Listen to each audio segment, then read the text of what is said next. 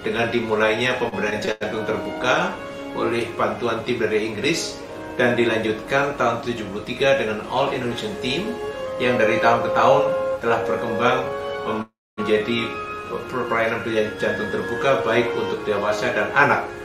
Di dalam perkembangannya pada tahun 2008 diresmikan pendidikan uh, bedah toraks kardiak dan vaskuler dengan pemasukan kandidat langsung dari dokter umum untuk menjadi SP BTKV yang kemudian pada saat ini telah berkembang menjadi program pendidikan dokter spesialis BTKV uh, salah satu dari dua di Indonesia yang satu di Universitas Erlangga dan yang lain di Universitas Indonesia. Di dalam perkembangannya maka bedah toraks kardiovaskuler yang kita sebut BTKV sekarang telah mencapai tingkatan pelayanan lengkap di bidang toraks, paru, jantung, dewasa, jantung anak, jantung kongenital, dan juga bedah vaskuler dan bedah endovaskuler.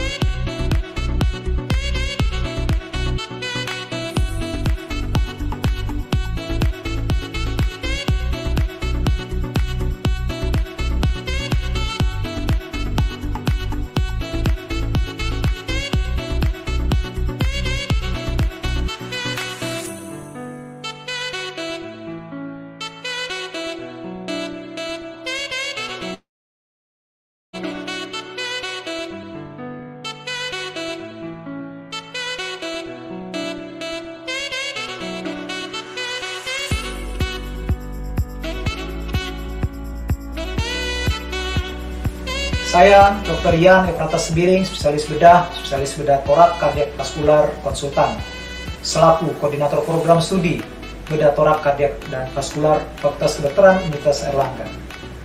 Prodi BTKV itu adalah nama yang dikenal untuk prodi ini, sehingga saat ini telah meluluskan 38 lulusan spesialis BTKV yang tersebar di seluruh Indonesia mulai dari Aceh hingga ke Papua. Spesialis BTKV yang dihasilkan oleh Prodi uh, Fakultas Kedokteran Erlangga ini mampu melakukan dan memberikan pelayanan di bidang bedah torak meliputi operasi paru dan rongga dada, bedah jantung atau kardiak yang meliputi bedah jantung dewasa dan bedah jantung kongenital, dan bedah pembuluh darah atau bedah vaskular baik secara open maupun secara teknik endovaskular. Prodi BTKV mempunyai visi dan misi yang mendukung Tridharma perguruan tinggi, yang mana tujuannya adalah untuk mengharumkan nama alma mater baik di kancah nasional maupun internasional. Jayalah Universitas Erlangga, majulah alumnusku, salam sehat bagi kita semua.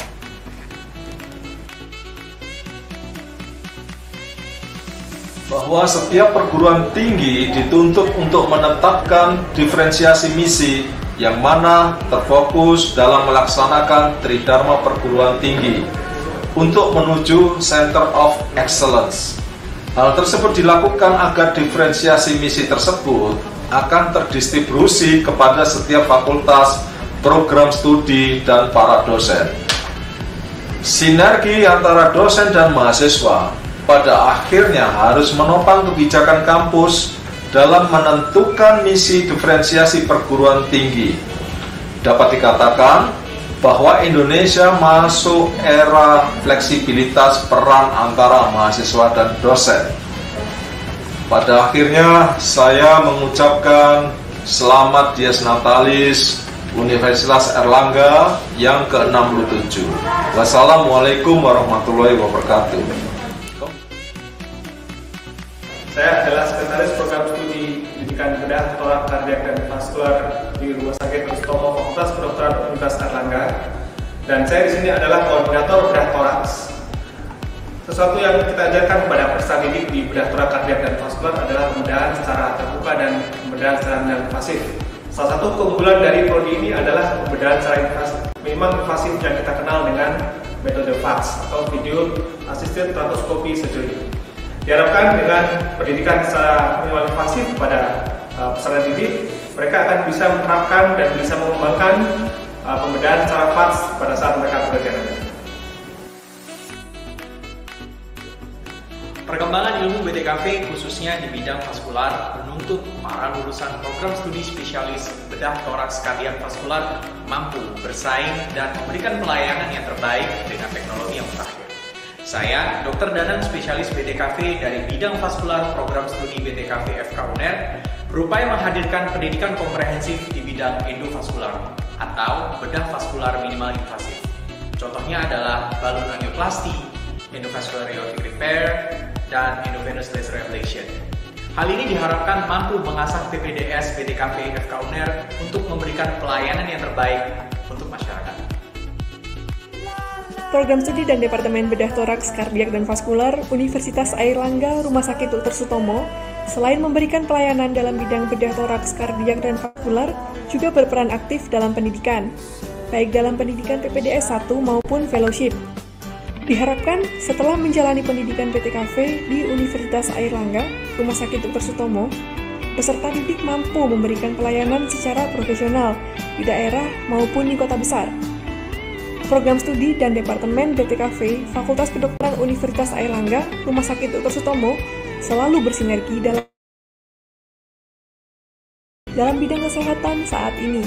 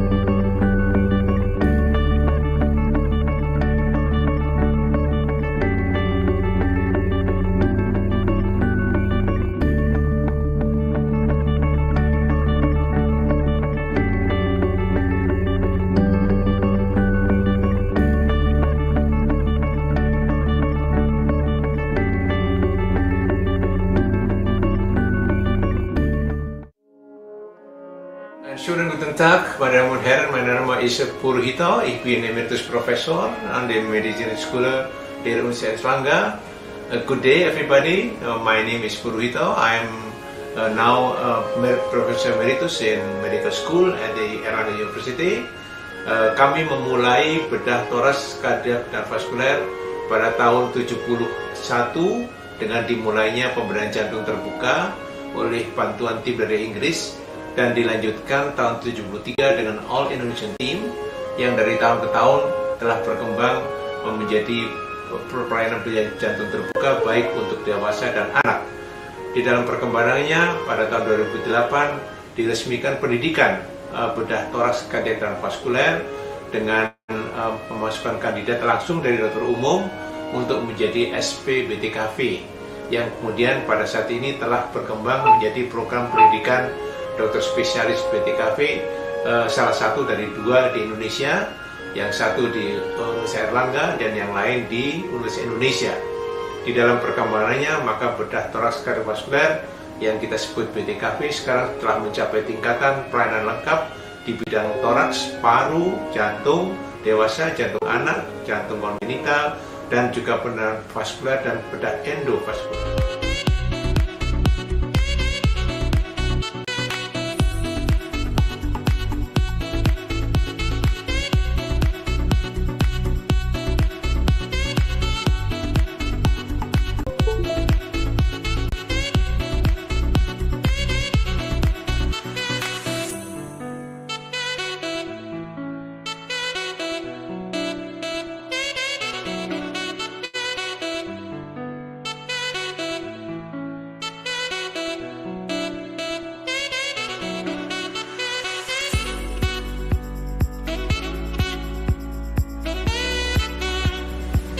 Saya Dr. Ian Efrata Sembiring, spesialis bedah, spesialis bedah torak, kardiak vaskular, konsultan, selaku koordinator program studi bedah torak, kardiak, dan vaskular Fakultas Kedokteran Universitas Erlangga. Prodi BTKV itu adalah nama yang dikenal untuk prodi ini, sehingga saat ini telah meluluskan 38 lulusan spesialis BTKV yang tersebar di seluruh Indonesia mulai dari Aceh hingga ke Papua. Spesialis BTKV yang dihasilkan oleh Prodi uh, Fakultas Kedokteran Erlangga ini mampu melakukan dan memberikan pelayanan di bidang bedah torak meliputi operasi paru dan rongga dada, bedah jantung atau kardiak yang meliputi bedah jantung dewasa dan bedah jantung kongenital, dan bedah pembuluh darah atau bedah vaskular baik secara open maupun secara teknik endovaskular. Prodi BTKV mempunyai visi dan misi yang mendukung Tridharma perguruan tinggi, yang mana tujuannya adalah di kancah nasional maupun internasional. Jayalah Universitas Erlangga, majulah alumnusku, salam sehat bagi kita semua.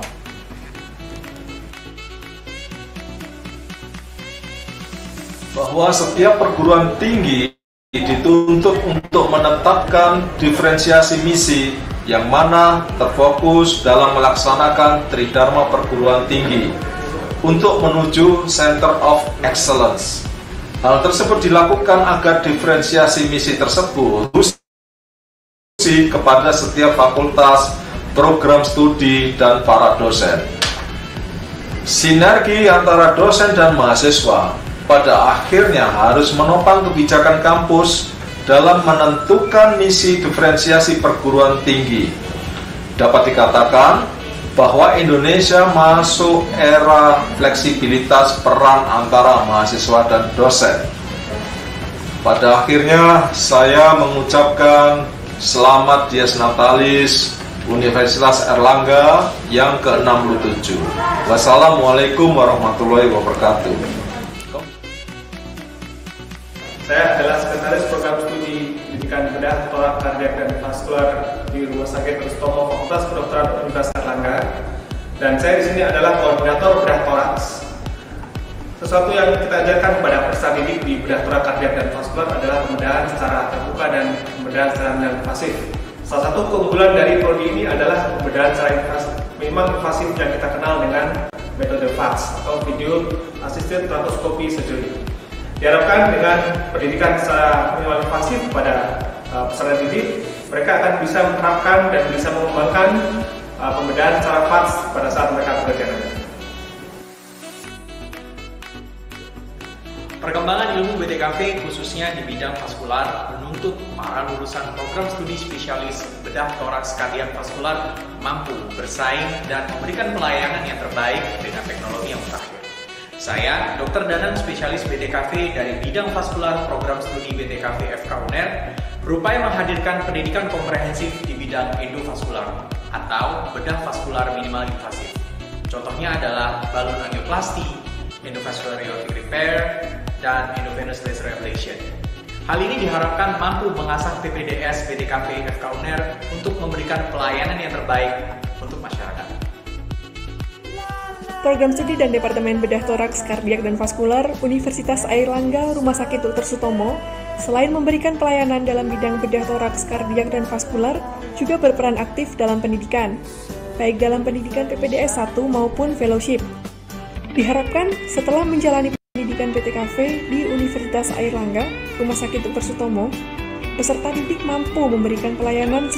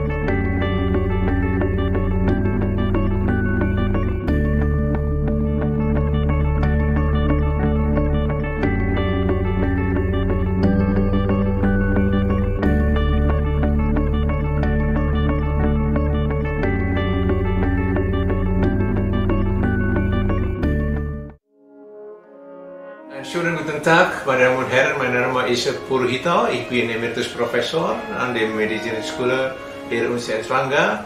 Uh, good day everybody, uh, my name is Purhito, I am uh, now uh, Professor Emeritus in Medical School at the Erlangga University. Uh, kami memulai bedah toras, kardiak, dan vaskuler pada tahun 71 dengan dimulainya pemberdayaan jantung terbuka oleh bantuan tim dari Inggris dan dilanjutkan tahun 73 dengan All Indonesian Team yang dari tahun ke tahun telah berkembang menjadi pelayanan jantung terbuka baik untuk dewasa dan anak. Di dalam perkembangannya pada tahun 2008 diresmikan pendidikan uh, bedah toraks kardiak dan vaskuler dengan uh, memasukkan kandidat langsung dari dokter umum untuk menjadi SP BTKV yang kemudian pada saat ini telah berkembang menjadi program pendidikan dokter spesialis BTKV eh, salah satu dari dua di Indonesia yang satu di Universitas Erlangga dan yang lain di Universitas Indonesia di dalam perkembangannya maka bedah toraks kardiovaskuler yang kita sebut BTKV sekarang telah mencapai tingkatan pelayanan lengkap di bidang toraks, paru, jantung, dewasa, jantung anak, jantung kongenital, dan juga bedah vaskuler dan bedah endovaskuler.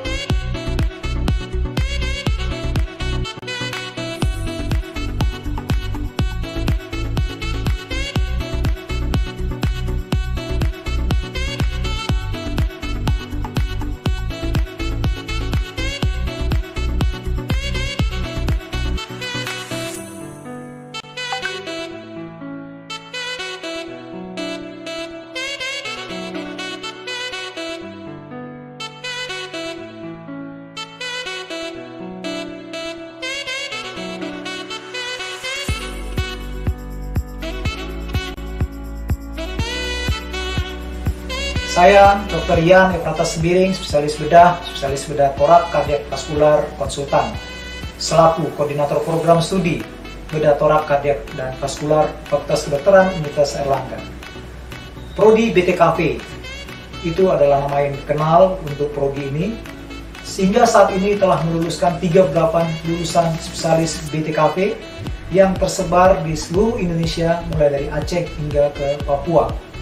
Spesialis BTKV yang dihasilkan oleh Prodi uh, Fakultas Kedokteran Erlangga ini mampu melakukan dan memberikan pelayanan di bidang bedah torak meliputi operasi paru dan rongga dada, bedah jantung atau kardiak yang meliputi bedah jantung dewasa dan bedah jantung kongenital, dan bedah pembuluh darah atau bedah vaskular baik secara open maupun secara teknik endovaskular. Prodi BTKV mempunyai visi dan misi yang mendukung Tridharma perguruan tinggi, yang mana tujuannya adalah untuk mengharumkan nama alma mater baik di kancah nasional maupun internasional. Jayalah Universitas Erlangga, majulah alumnusku, salam sehat bagi kita semua.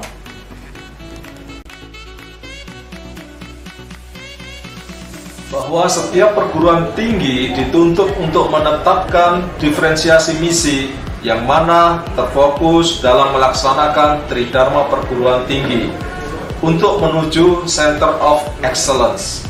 Hal tersebut dilakukan agar diferensiasi misi tersebut akan terdistribusi kepada setiap fakultas, program studi, dan para dosen. Sinergi antara dosen dan mahasiswa pada akhirnya harus menopang kebijakan kampus dalam menentukan misi diferensiasi perguruan tinggi.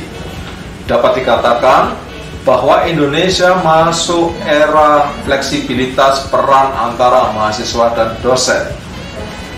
Pada akhirnya saya mengucapkan selamat Dies Natalis Universitas Erlangga yang ke-67. Wassalamualaikum warahmatullahi wabarakatuh. Saya adalah sekretaris program pendidikan bedah, torak, kardiak, dan vaskular di Rumah Sakit Kristomo Fakultas Kedokteran Universitas Erlangga.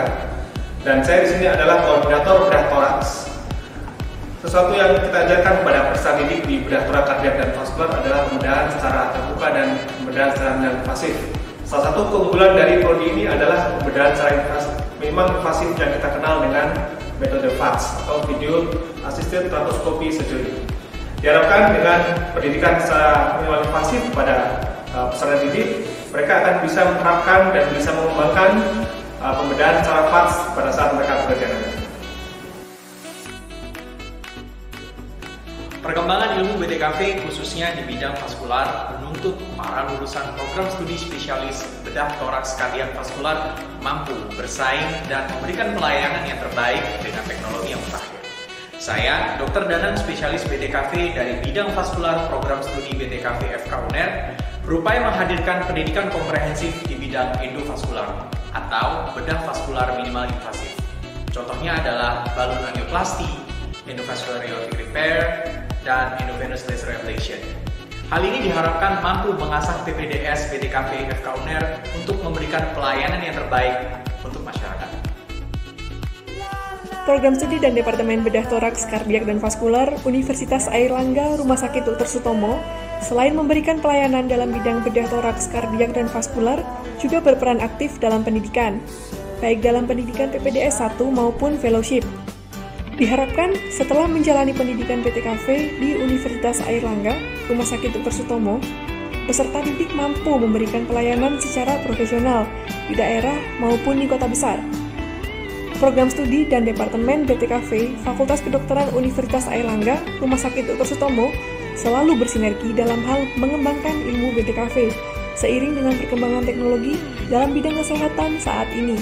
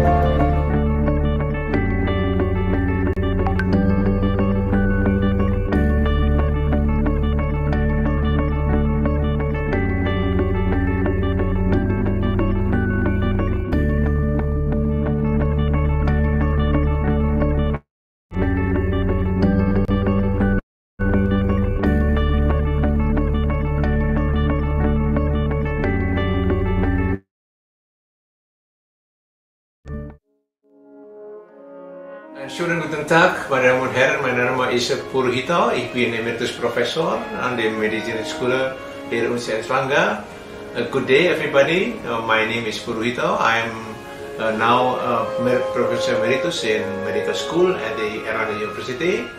Uh, kami memulai bedah toras, kardiak, dan vaskuler pada tahun 71 dengan dimulainya pemberdayaan jantung terbuka oleh bantuan tim dari Inggris dan dilanjutkan tahun 73 dengan All Indonesian Team yang dari tahun ke tahun telah berkembang menjadi pelayanan jantung terbuka baik untuk dewasa dan anak.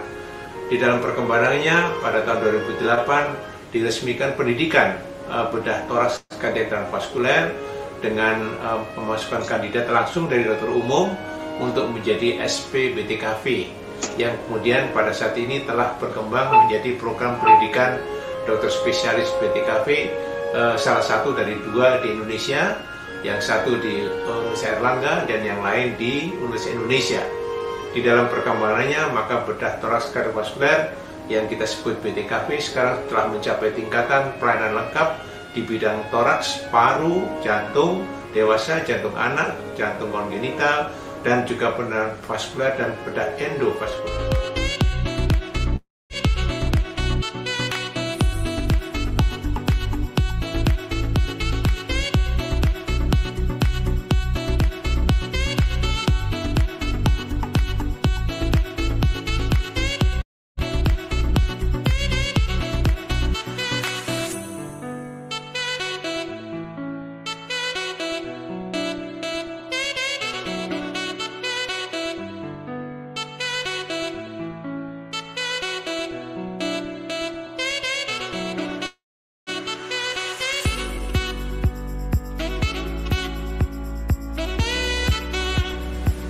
Saya Dr. Ian Efrata Sebiring, spesialis bedah, spesialis bedah torak, kardiak vaskular, konsultan, selaku koordinator program studi bedah torak, kardiak, dan vaskular Fakultas Kedokteran Universitas Erlangga.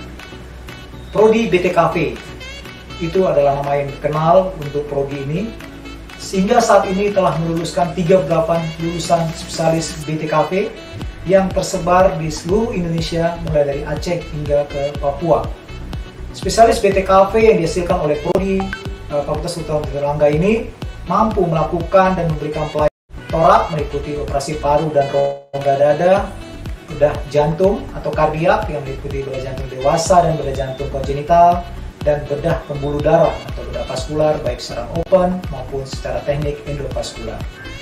Prodi BTKV mempunyai visi dan misi yang mendukung Tridharma perguruan tinggi, yang mana tujuannya adalah untuk mengharumkan nama alma mater, baik di kancah nasional maupun internasional. Jayalah Universitas Erlangga, majulah alumnusku, salam sehat bagi kita semua.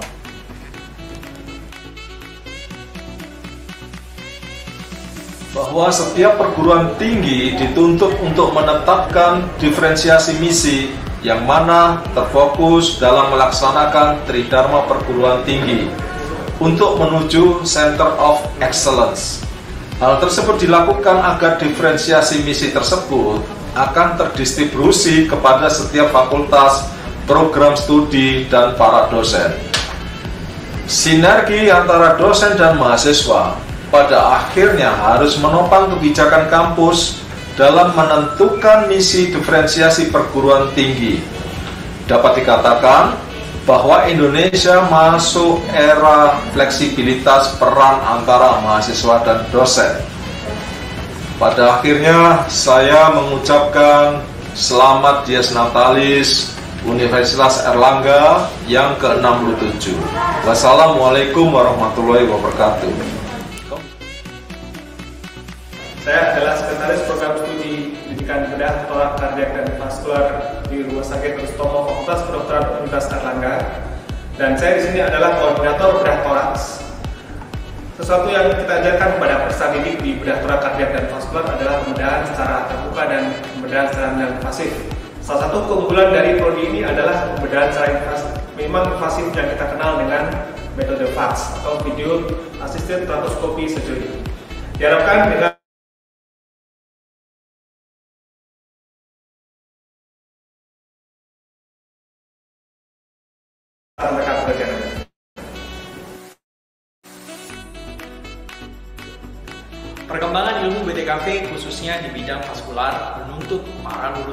program studi spesialis bedah toraks kardiak vaskular mampu bersaing dan memberikan pelayanan yang terbaik dengan teknologi yang mutakhir. Saya, Dr. Danan spesialis BTKV dari bidang vaskular program studi BTKV FK UNER, berupaya menghadirkan pendidikan komprehensif di bidang endovaskular atau bedah vaskular minimal invasif. Contohnya adalah balon angioplasti, endovascular aortic repair, dan endovenous laser ablation. Hal ini diharapkan mampu mengasah PPDS BTKV FK UNER untuk memberikan pelayanan yang terbaik untuk masyarakat. Program Studi dan Departemen Bedah Toraks, Kardiak, dan Vaskular Universitas Airlangga Rumah Sakit Dr. Sutomo selain memberikan pelayanan dalam bidang bedah toraks, kardiak, dan vaskular, juga berperan aktif dalam pendidikan, baik dalam pendidikan PPDS 1 maupun fellowship.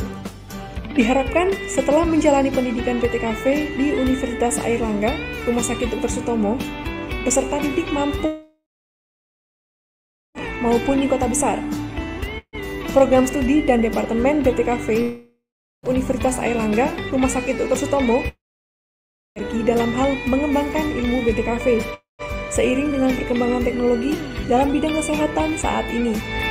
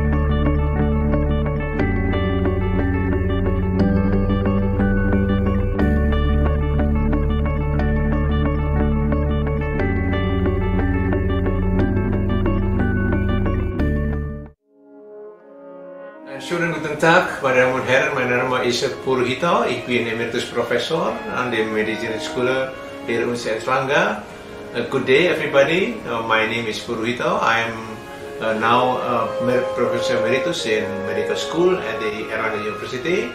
Uh, uh, kami memulai bedah toras, kardiak, dan vaskuler pada tahun 71 dengan dimulainya pemberdayaan jantung terbuka oleh bantuan tim dari Inggris dan dilanjutkan tahun 73 dengan All Indonesian Team yang dari tahun ke tahun telah berkembang menjadi pelayanan jantung terbuka baik untuk dewasa dan anak. Di dalam perkembangannya pada tahun 2008 diresmikan pendidikan uh, bedah toraks kardiak vaskuler dengan uh, memasukkan kandidat langsung dari dokter umum untuk menjadi SP BTKV yang kemudian pada saat ini telah berkembang menjadi program pendidikan dokter spesialis BTKV uh, salah satu dari dua di Indonesia yang satu di Universitas Erlangga dan yang lain di Universitas Indonesia di dalam perkembangannya maka bedah toraks kardiovaskuler yang kita mencapai tingkatan pelayanan lengkap di bidang toraks, paru, jantung, dewasa, jantung anak, jantung kongenital, dan juga bedah vaskuler dan bedah endovaskuler.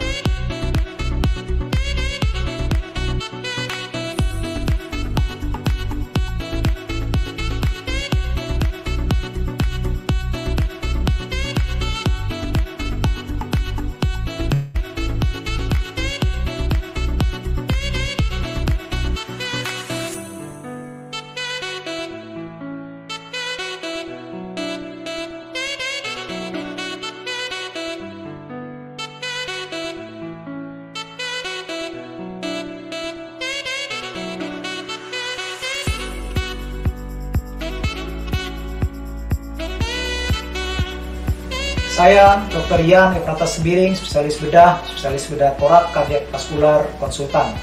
Selaku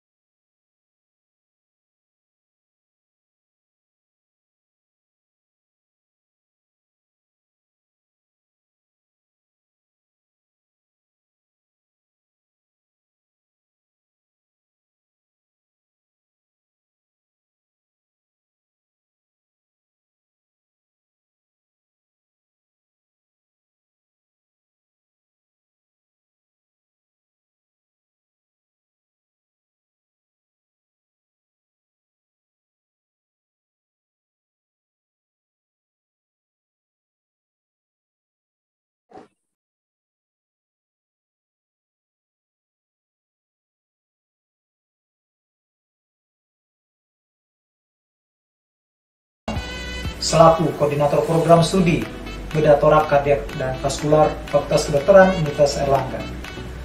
Prodi BTKV itu adalah nama yang dikenal untuk prodi ini sehingga saat ini telah meluluskan 38 lulusan spesialis BTKV yang tersebar di seluruh Indonesia mulai dari Aceh hingga ke Papua.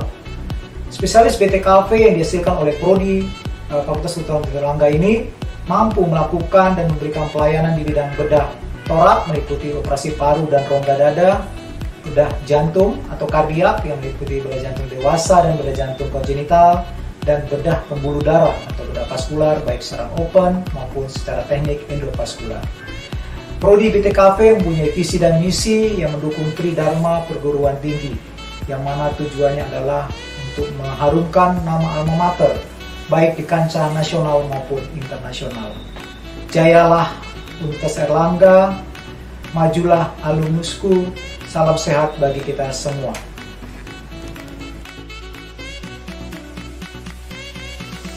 bahwa setiap perguruan tinggi dituntut untuk menetapkan diferensiasi misi yang mana terfokus dalam melaksanakan tridharma perguruan tinggi untuk menuju Center of Excellence.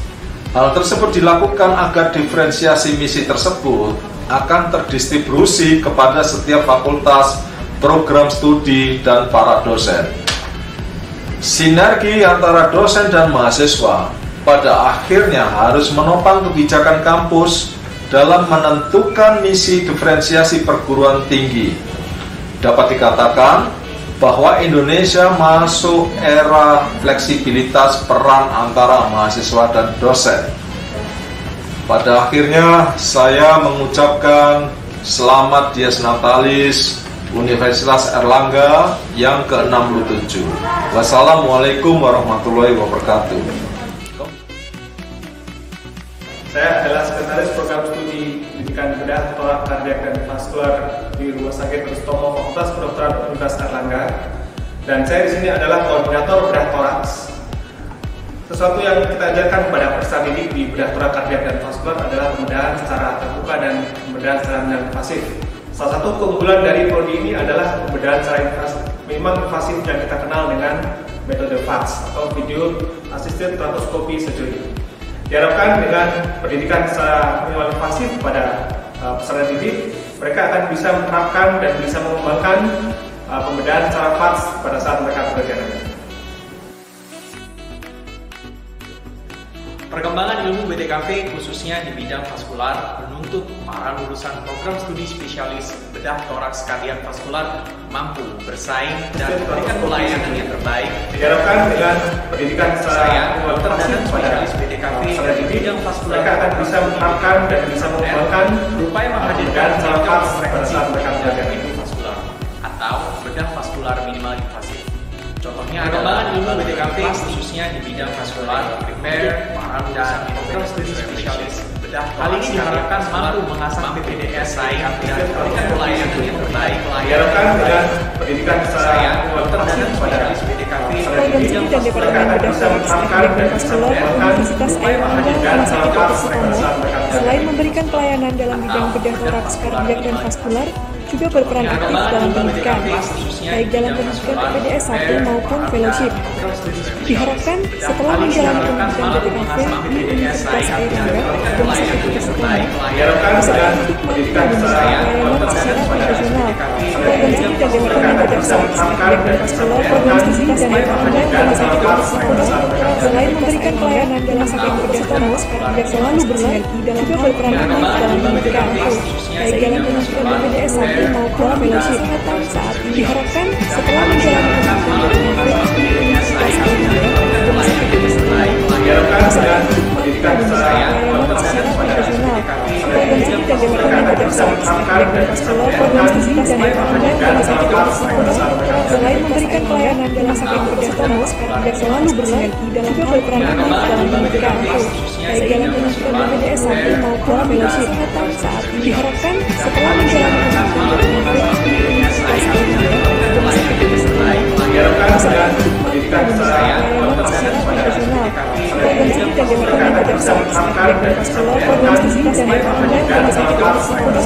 selain memberikan pelayanan dalam sakit toraks kardiak selalu bersinergi dalam berperan aktif dalam pendidikan baik dalam pendidikan BPDS 1 maupun fellowship saat ini diharapkan setelah menjalani pendidikan diharapkan dengan didik mampu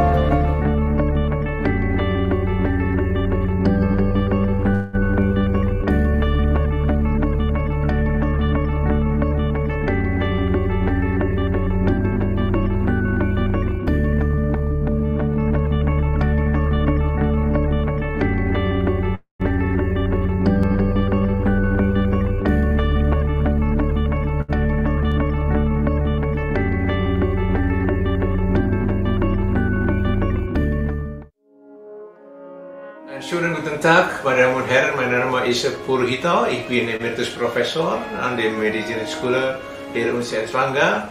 Uh, good day, everybody. Uh, my name is Purhito. I am uh, now uh, Professor Emeritus in Medical School at the Erlangga University. Uh, kami memulai bedah toras kardiak dan vaskuler pada tahun 71 dengan dimulainya pemberian jantung terbuka oleh bantuan tim dari Inggris dan dilanjutkan tahun 73 dengan All Indonesian Team yang dari tahun ke tahun telah berkembang menjadi pelayanan pelayanan jantung terbuka baik untuk dewasa dan anak. Di dalam perkembangannya pada tahun 2008 diresmikan pendidikan uh, bedah toraks kardiak vaskuler dengan uh, pemasukan kandidat langsung dari dokter umum untuk menjadi SP BTKV yang kemudian pada saat ini telah berkembang menjadi program pendidikan dokter spesialis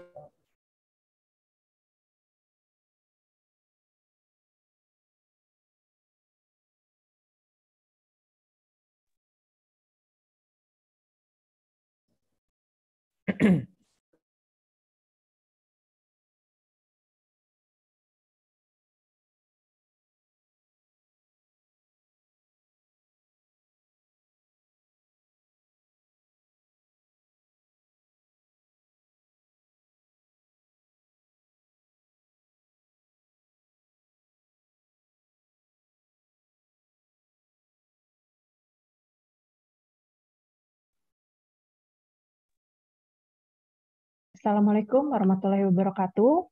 Selamat pagi. Salam. Assalamualaikum warahmatullahi wabarakatuh. Selamat pagi. Salam sejahtera untuk kita semua. Perkenalkan, saya Sheila, MC untuk acara webinar Expert Forum yang berjudul Implication in Quality of Life and Management Updates on Venous Disease hari ini. Sebelum mulai acara, mari kita menyanyikan lagu Indonesia Raya, Hipna Erlangga, dan Mars RSDS.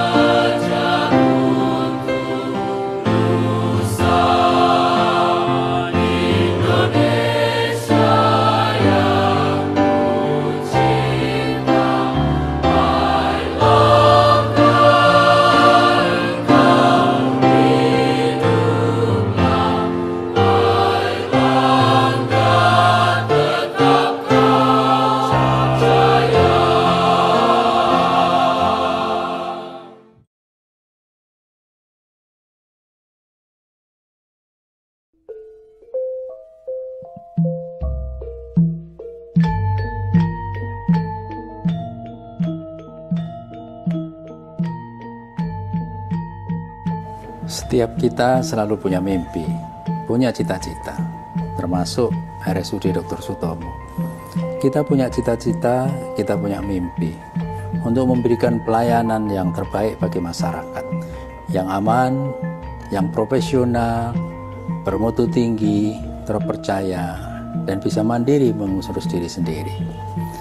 Untuk itu maka kita punya mutu untuk selalu beretika di dalam memberikan pelayanan kita juga ingin memberikan pelayanan yang penuh dengan integritas, mempunyai integritas yang tinggi pada nusa dan bangsa. Bekerja secara profesional dan tentu kita harus banyak melakukan inovasi-inovasi supaya bisa menyelesaikan pekerjaan sebaik-baiknya. Sehingga cita-cita kita sebagai pelayanan yang baik, pemuka dalam pelayanan, pemuka dalam pendidikan, pemuka dalam penelitian, untuk bisa segera kita wujudkan. Makanya semuanya itu kita tuangkan dalam sebuah lagu yang harus kita ingat sepanjang masa.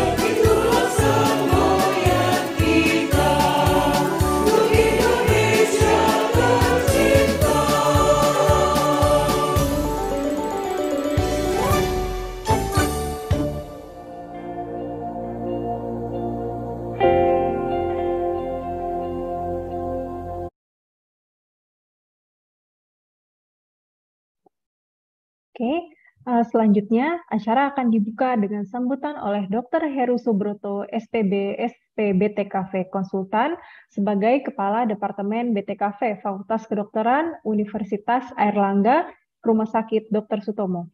Kepada Dr. Heru, kami persilahkan. Baik, Assalamualaikum warahmatullahi wabarakatuh. Salam sejahtera bagi semuanya. Alhamdulillah pada hari ini kita ada ketemu lagi dalam acara ilmiah yang diselenggarakan oleh Departemen dan Prodi Bedah TKV FK UNER yang bekerja sama dengan PT Serviet dan juga eh, dengan FKUI dan juga dengan eh, RSD Dr. Stomo. Atas semuanya itu kami mengucapkan selamat datang kepada para peserta, kepada para pembicara, di mana webinar pada hari ini mengangkat topik Implication in Quality of Life and Management Updates on Venous Disease dengan beberapa pakar yang akan eh, memberikan suatu share ilmunya, kemudian share pengalamannya. Tidak berlama-lama, sekali lagi kami mengucapkan selamat datang kepada para peserta semuanya dan kami ucapkan terima kasih kepada para panitia, pendukung, pendukung acara. Akhir kata kami sampaikan wassalamualaikum warahmatullahi wabarakatuh. Waalaikumsalam warahmatullahi wabarakatuh. Terima kasih Dr. Heru Subroto. Pada pagi hari ini, kami akan membawakan tiga materi, yaitu yang pertama adalah Ethics in Management of Patient Safety oleh Dr. Heru Subroto, SPB, SPBTKV Konsultan. Yang kedua adalah Understanding the CVD Management through Case Studies oleh Prof. Dr. Met, Dr. Purhito, spesialis bedah, spesialis BTKV Konsultan, FICS. Yang ketiga adalah hemorrhoid management, role and benefit of micronized purified flavonoid fraction oleh Prof. Dr. Dr. Rino Alvanigani, SPPD KGEH. Sebelum itu, perkenalkan saya, perkenankan saya untuk memperkenalkan moderator acara pada pagi hari ini, yaitu Dr. Dr. Yan Efrata Semiring, SPB, SPBTKV Konsultan. Dr. Yan Efrata Semiring lahir di Medan, pada tanggal 28 Januari 1975. Saat ini, Dr. Yan Efrata Semiring menjabat sebagai staf Departemen of Surgery Fakultas Faculty of Medicine Universitas Erlangga, Dr. Sutomo General Academic Teaching Hospital Surabaya, Koordinator of Residency Program Thoracic Cardiac and Vascular Surgery Universitas Erlangga Surabaya, Vice Head of Asia Pacific Extracorporeal Life Support Organization Indonesia, dan Koordinator of Thoracic Cardiac and Vascular Surgery Indonesia Association, East Java, Bali, and Nusa Tenggara Region. Dr. Dr. Ian Efrata Semiring, Semiring menyelesaikan studi spesialis bedahnya di Fakultas Kedokteran Universitas Airlangga pada tahun 2006, lalu melanjutkan spesialis BTKV dan selesai pada tahun 2010. Pada tahun 2022, Dr. Ian Efrata Semiring juga menyelesaikan studi S3-nya dan mendapatkan gelar dokter pada tahun 2022. Dr. Yan menyelesaikan fellowship di National Heart Center Singapura, Heart and Lung Transplant, St. Vincent's Hospital, Sydney, dan telah mengikuti beberapa training, di antaranya adalah Advanced Mitral Repair Training, Basic Mitral Repair Training, Ultimate Mitral Repair Training di Bangkok, mastering mitral valve repair di Vietnam, dan minimal invasif di Lyon, France. Kepada dokter Dr. Rian Efrata sendiri, spesialis bedah spesialis BTKV konsultan, waktu dan tempat kami persilakan. Ya. Terima kasih eh, Ibu MC. Nah, eh, ini merupakan beliau ini PPDS dari BTKV ya. Jadi bukan MC profesional yang disewa oleh uh, Departemen Prodi tapi merupakan PPDS. Nah, sekalian promosi ya Dr. Sela ya. Terima kasih juga untuk uh, Kepala Departemen yang sudah membuka acara kita pada pagi ini. Terima kasih kepada semua pembicara yang sudah berkenan untuk hadir bersama-sama kita pada pagi ini ada Dr. Heru Subroto, Profesor Puruhito, dan Profesor Rino Alfani.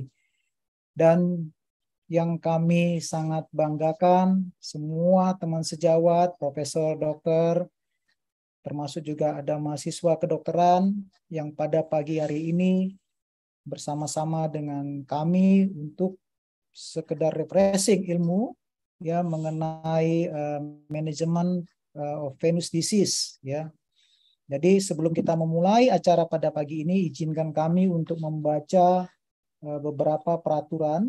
Ya, ini adalah peraturan yang penting, ya, penting sekali.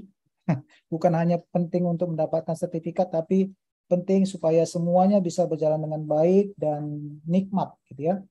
Yang pertama, kami mohon semuanya kita untuk memute suara selama sesi penyampaian materi, materi ya sehingga bisa berjalan dengan baik Kemudian kami mohon untuk menggunakan virtual background, nanti akan bisa didapat di kolom chat, ya, biar kita nanti pada sesi terakhir pada waktu foto biar bisa kelihatan kompak semuanya. Kemudian eh, acara ini telah di mendapat SKP dari ID, ya. Eh, dan sertifikat akan diberikan kepada kita semua bila telah mengikuti minimal dua topik dan mengisi link absensi yang akan di-share dua kali oleh panitia selama acara berlangsung di kolom chat. Jadi kami mohon untuk uh, profesor dan dokter dan teman sejawat semua yang hadir untuk senantiasa terus mengikuti acara ini minimal dua topik. Uh, untuk tanya jawab, kita akan terima nanti dalam dua versi. Bisa pertama mengirimkan via kolom chat, ya. Jadi nanti waktu setelah satu sesi berlangsung silakan dikirim ya dengan memakai format yang seperti yang tertulis di layar atau kemudian bisa juga pada saat sesi question and answer itu dengan mengaktifkan raise hand pada uh, aplikasi Zoom-nya sehingga nanti panitia akan unmute uh, Bapak Profesor dan Dokter yang terhormat untuk bisa langsung bertanya kepada narasumber kita pada pagi hari ini. Jadi itu yang peraturan webinar yang bisa kami sampaikan uh, supaya tidak membuang waktu. Uh, kita akan memulai acara webinar pada pagi ini. Akan ada tiga pembicara seperti yang telah kami sampaikan, yaitu pertama Dr. Heru Subroto akan membawakan topik mengenai etik in management of patient safety. Izinkan kami untuk membicarakan kurikulum kita dari Dr. Heru Subroto. Dr. Heru Subroto adalah eh, Kepala Departemen di Bedah Torak Kardiak Vaskular FK Unair dan Rumah Sakit Dr. Stomo, juga merangkap sebagai Kepala KSM Beliau luluskan dari Universitas Langga, bedah umum di Universitas Langga, kemudian bedah TKV dari saat itu masih terpusat di Jakarta semua dengan sistem kolegium nasional. Kemudian beliau mengikuti training fellowship di St. Vincent Hospital Sydney. Kemudian beliau juga mengikuti berbagai macam training baik di dalam negeri maupun di luar negeri seperti Malaysia, Singapura, Bangkok, dan juga di Prancis. Dr. Heru pada pagi hari ini akan membawakan topik mengenai etik in management of patient safety. Untuk mempersingkat waktu kepada Dr. Heru Subroto, spesialis bedah, spesialis bedah torak kardiovaskular, konsultan, kami persilahkan. Baik, Terima kasih Dr. Yan sebagai moderator pada acara ini. Baiklah, saya mengemban tugas untuk uh, istilahnya review maupun reminding kita sebagai tenaga kesehatan, yaitu sebagai dokter, tentang pentingnya pentingnya topik yang satu ini, yang mungkin banyak uh, dari kita yang uh, apa ya, bukan melalaikan, tapi lupa. Baiklah, saya mulai aja. Ethics and Management of Patient Safety. Bahwa ini adalah merupakan suatu rangkaian dari kode etik profesi kedokteran, di mana kewajiban eh, dok sebagai dokter itu diatur diatur dalam suatu eh, perundang-undangan ada pasal 1 sampai sekian. Namun yang mengenai kewajiban dokter terhadap penderita, ini saya mengutipnya hanya pasal 10 sampai pasal 14. Karena ini memang fokusnya ada pada eh, kewajiban dokter terhadap penderita. Seperti halnya pasal 10, setiap dokter senantiasa harus mengingat akan kewajiban melindungi hidup makhluk eh, insani Kemudian pasal 11 juga begitu. Dokter yang bekerja wajib bersikap tulus ikhlas, kemudian menggunakan semua ilmu dan keterampilannya untuk kepentingan penderita. Dan yang pasal 12 ditekankan pada setiap dokter harus bisa memberikan kesempatan kepada penderita agar senantiasa dapat berhubungan dengan keluarga dan penasehat penasehatnya. Dan pasal 13 seorang dokter juga wajib ya, wajib hukumnya merahasiakan segala sesuatu yang diketahui ya tentang pasiennya. dan tidak boleh disiarkan pada forum-forum yang memang bukan peruntukannya. Kemudian pasal 14, setiap dokter wajib melakukan pertolongan darurat sebagai tugas atau amanah perikemanusiaan. Baiklah, kita menuju ke pasien safety. Ini memang sebetulnya bukan hal baru sekali, tapi memang cukup baru.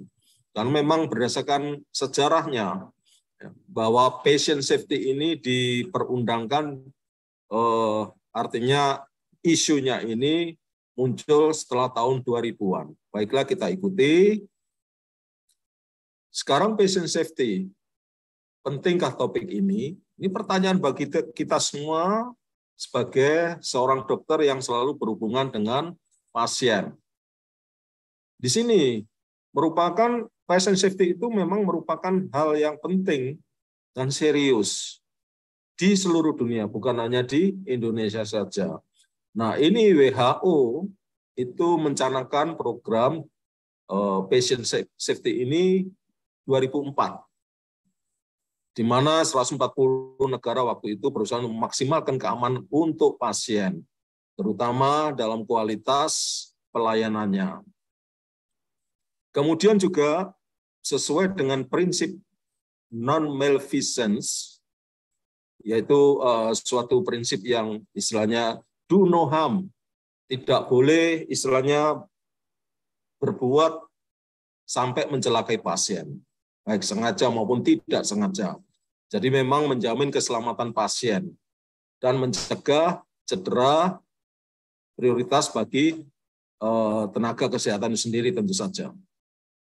Nah, di sini ada empat pilar medical ethics-nya, etiknya. Yang pertama adalah otonomi. Jadi memberi kesempatan atau mempersilahkan atau memberi suatu kebebasan pasien untuk eh, istilahnya bersedia apa enggak di, di, ber, diberikan terapi atau pengobatan bahkan operasi. Itu diserahkan pada pasien setelah mendapatkan tentu saja mendapatkan suatu penjelasan apa dan bagaimana uh, terapi yang akan kita berikan nanti.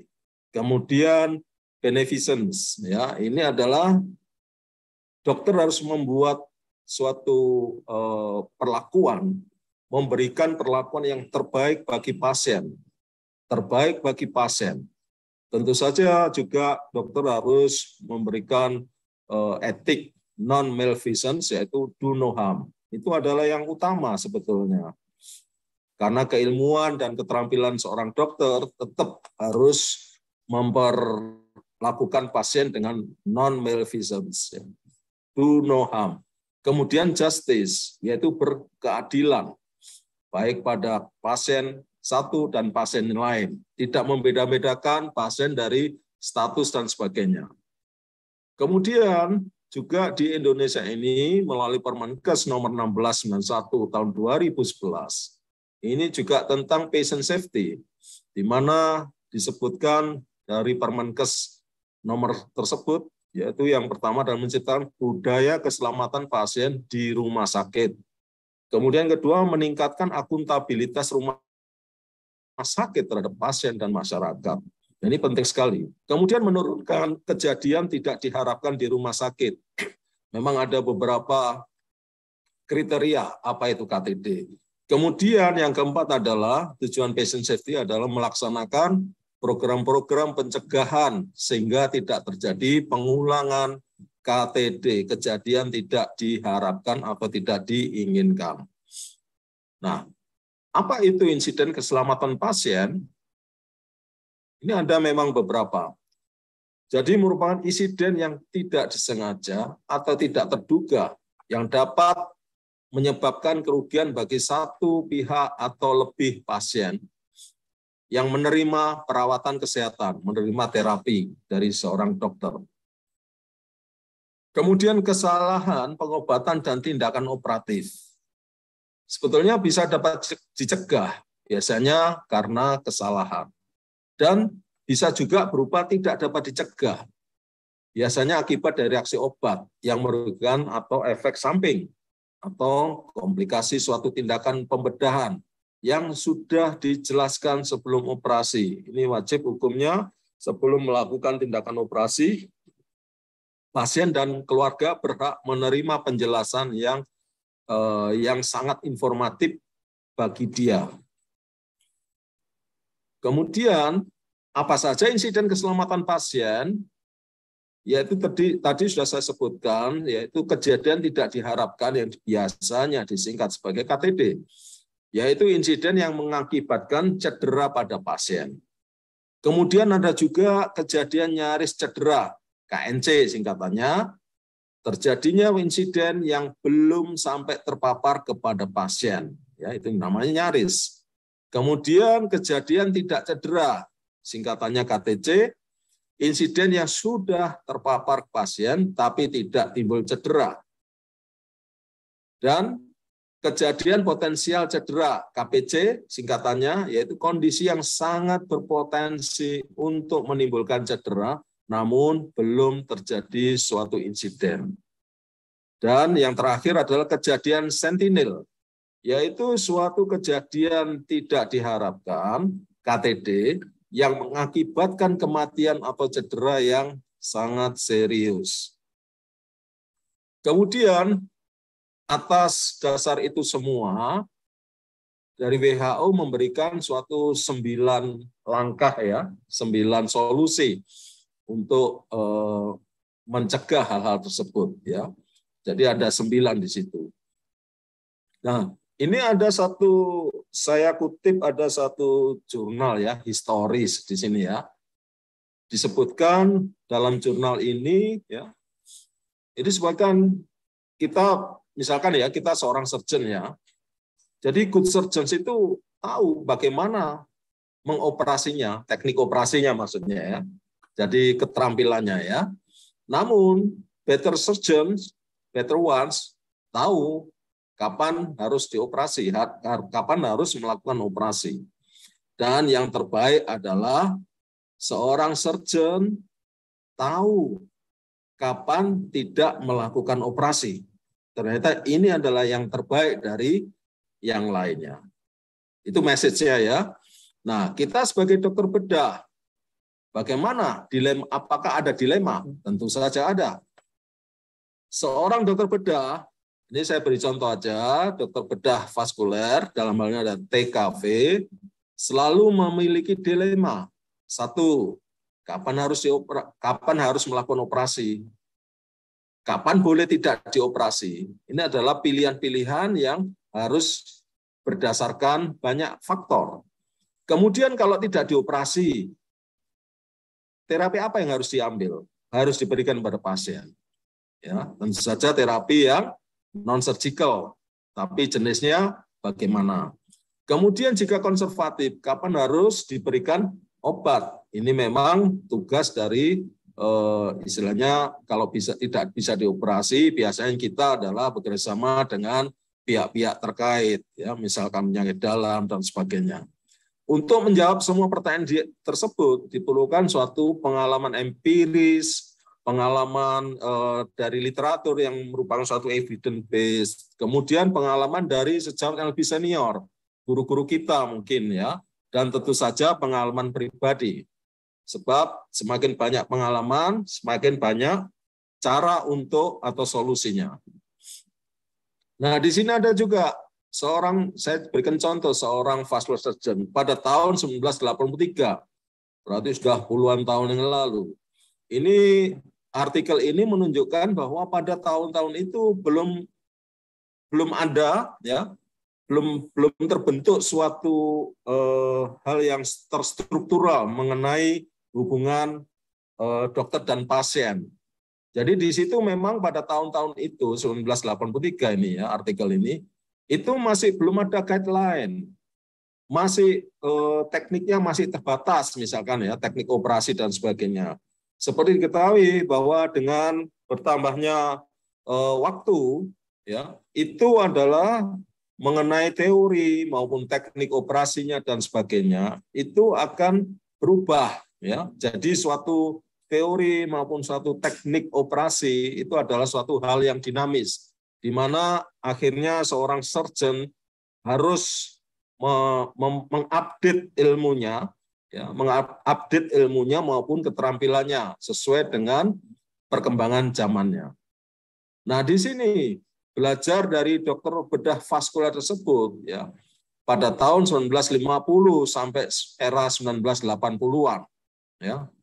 Itu adalah diketahui bahwa memang pada periode-periode itu sangat minim guideline, minim peralatan bedah vaskuler dan pemahaman yang sangat mendasar bahkan mengenai penyebab vaskuler itu sendiri sendiri.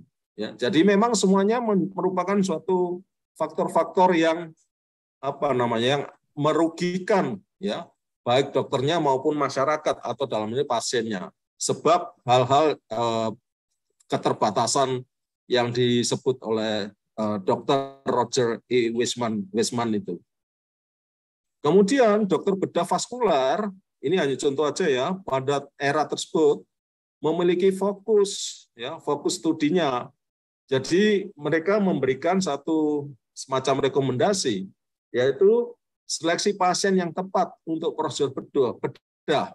Kemudian adalah asesmen yang lebih akurat untuk hasil suatu prosedur bedah yang baik. Jadi menyeleksi pasien yang tepat untuk pilihan bedah-bedah, untuk pilihan teknik bedah. Kemudian tentu saja asesmen artinya bahwa diagnosa yang akurat diperlukan untuk hasil yang baik.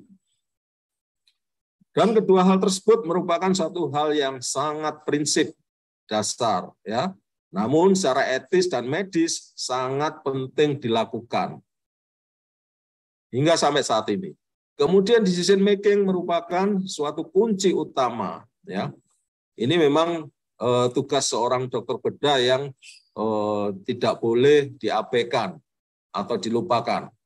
Sesuai dengan asas patient safety diperlukan suatu algoritma ya protap ya, algoritma yang secara khusus dan spesifik untuk setiap jenis penyakit sehingga bisa membuat atau melahirkan suatu guideline, guideline kerja istilahnya ya. Nah, di situ algoritma ini akan membantu dokter, baik dokter bedah maupun non bedah, untuk menentukan pengobatan atau terapi apa yang terbaik untuk pasien-pasien tersebut. Sehingga menjadikan suatu perilaku atau suatu sikap decision making yang baik tentu saja. Dan di sini guideline dan decision making yang baik akan meminimalkan risiko terjadinya kesalahan terapi atau pengobatan atau eh, perlakuan pada pasien. Dan guideline harus selalu diupdate dan skill decision making harus selalu diupdate ataupun diasah sesuai dengan kemajuan uh, teknologi dan uh, uh, science. Dan di sini pada akhirnya do not place your trust in the graph but also search carefully the host factors into which it is implanted. They may be decisive. Jadi ini adalah pesan bagi seorang dokter. Ini contohnya adalah dokter vaskular, nggak boleh kita hanya berdasarkan eh, canggihnya alkes ya, tapi juga harus mempertimbangkan faktor-faktor yang ada dalam pasien ini sendiri. Tujuannya semuanya adalah untuk membuat suatu decision, ya yang baik tentu saja akan menunjang outcome yang baik pula. Dan kebetulan pada hari ini 17 September 2022 itu adalah World Patient Safety Day. So happy World Patient Safety Day. Terima kasih. Wassalamualaikum warahmatullahi wabarakatuh.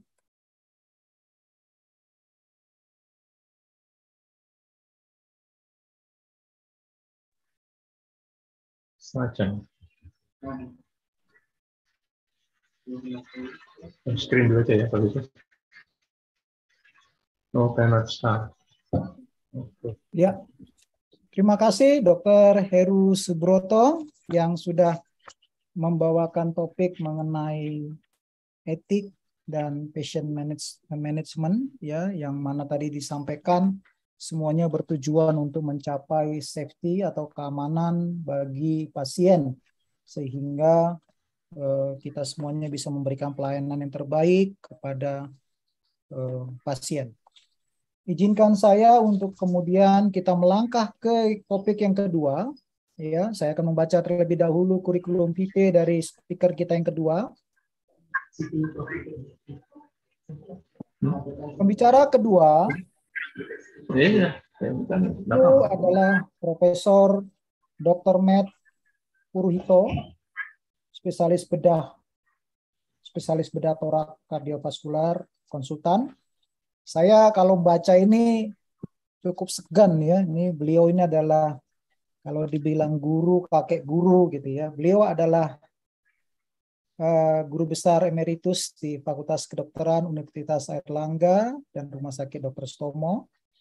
Beliau uh, lulus dari Fakultas Kedokteran Universitas Airlangga, kemudian melanjutkan ke bedah, spesialis bedah di Surabaya, dan kemudian mengambil bedah torak kardiovaskularnya di Erlangen, Jerman.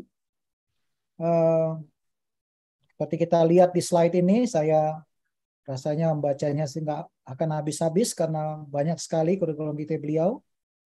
Beliau adalah rektor di Universitas Erlangga pada tahun 2001 sampai 2006. Saat ini beliau menjabat sebagai guru besar emeritus dan merupakan staf di Departemen Bedah Torak Kardiovaskular FK Unair dan Rumah Sakit Dr. Stomo. Uh, ini adalah uh, beberapa posisi yang beliau uh, emban saat ini. Kami mengucapkan banyak terima kasih kepada Profesor Purhito yang senantiasa masih bersama kami untuk terus memberikan update mengenai perkembangan di bedah TKV, khususnya di bidang bedah vaskular. Tanpa memperpanjang lagi waktu, kami persilakan Profesor Purhito untuk memberikan ilmunya kepada kita. Kami beri waktu 20 menit, Prof. Terima kasih.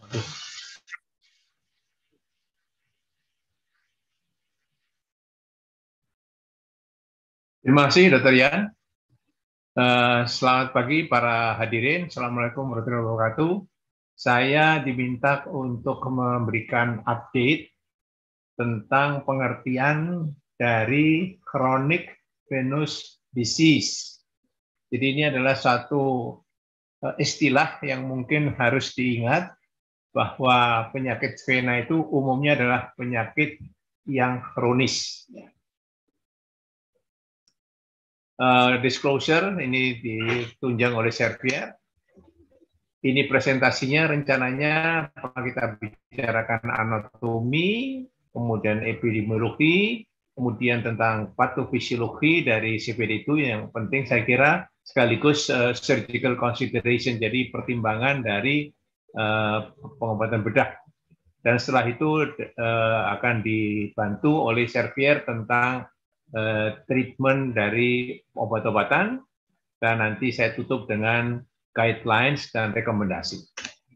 Yang pertama adalah tinjauan anatomis yang mungkin kalau lihat gambar ini semuanya sudah tahu, tapi secara detail itu adalah seperti ini. Jadi nomor satu memang ada vena savena magna dan vena savena parva yang bawah ini tetapi yang penting juga di bawah ini ada suatu kelompok uh, pembuluh darah vena yang nanti terkait dengan anatomi dari vena bagian atau kaki bagian bawah.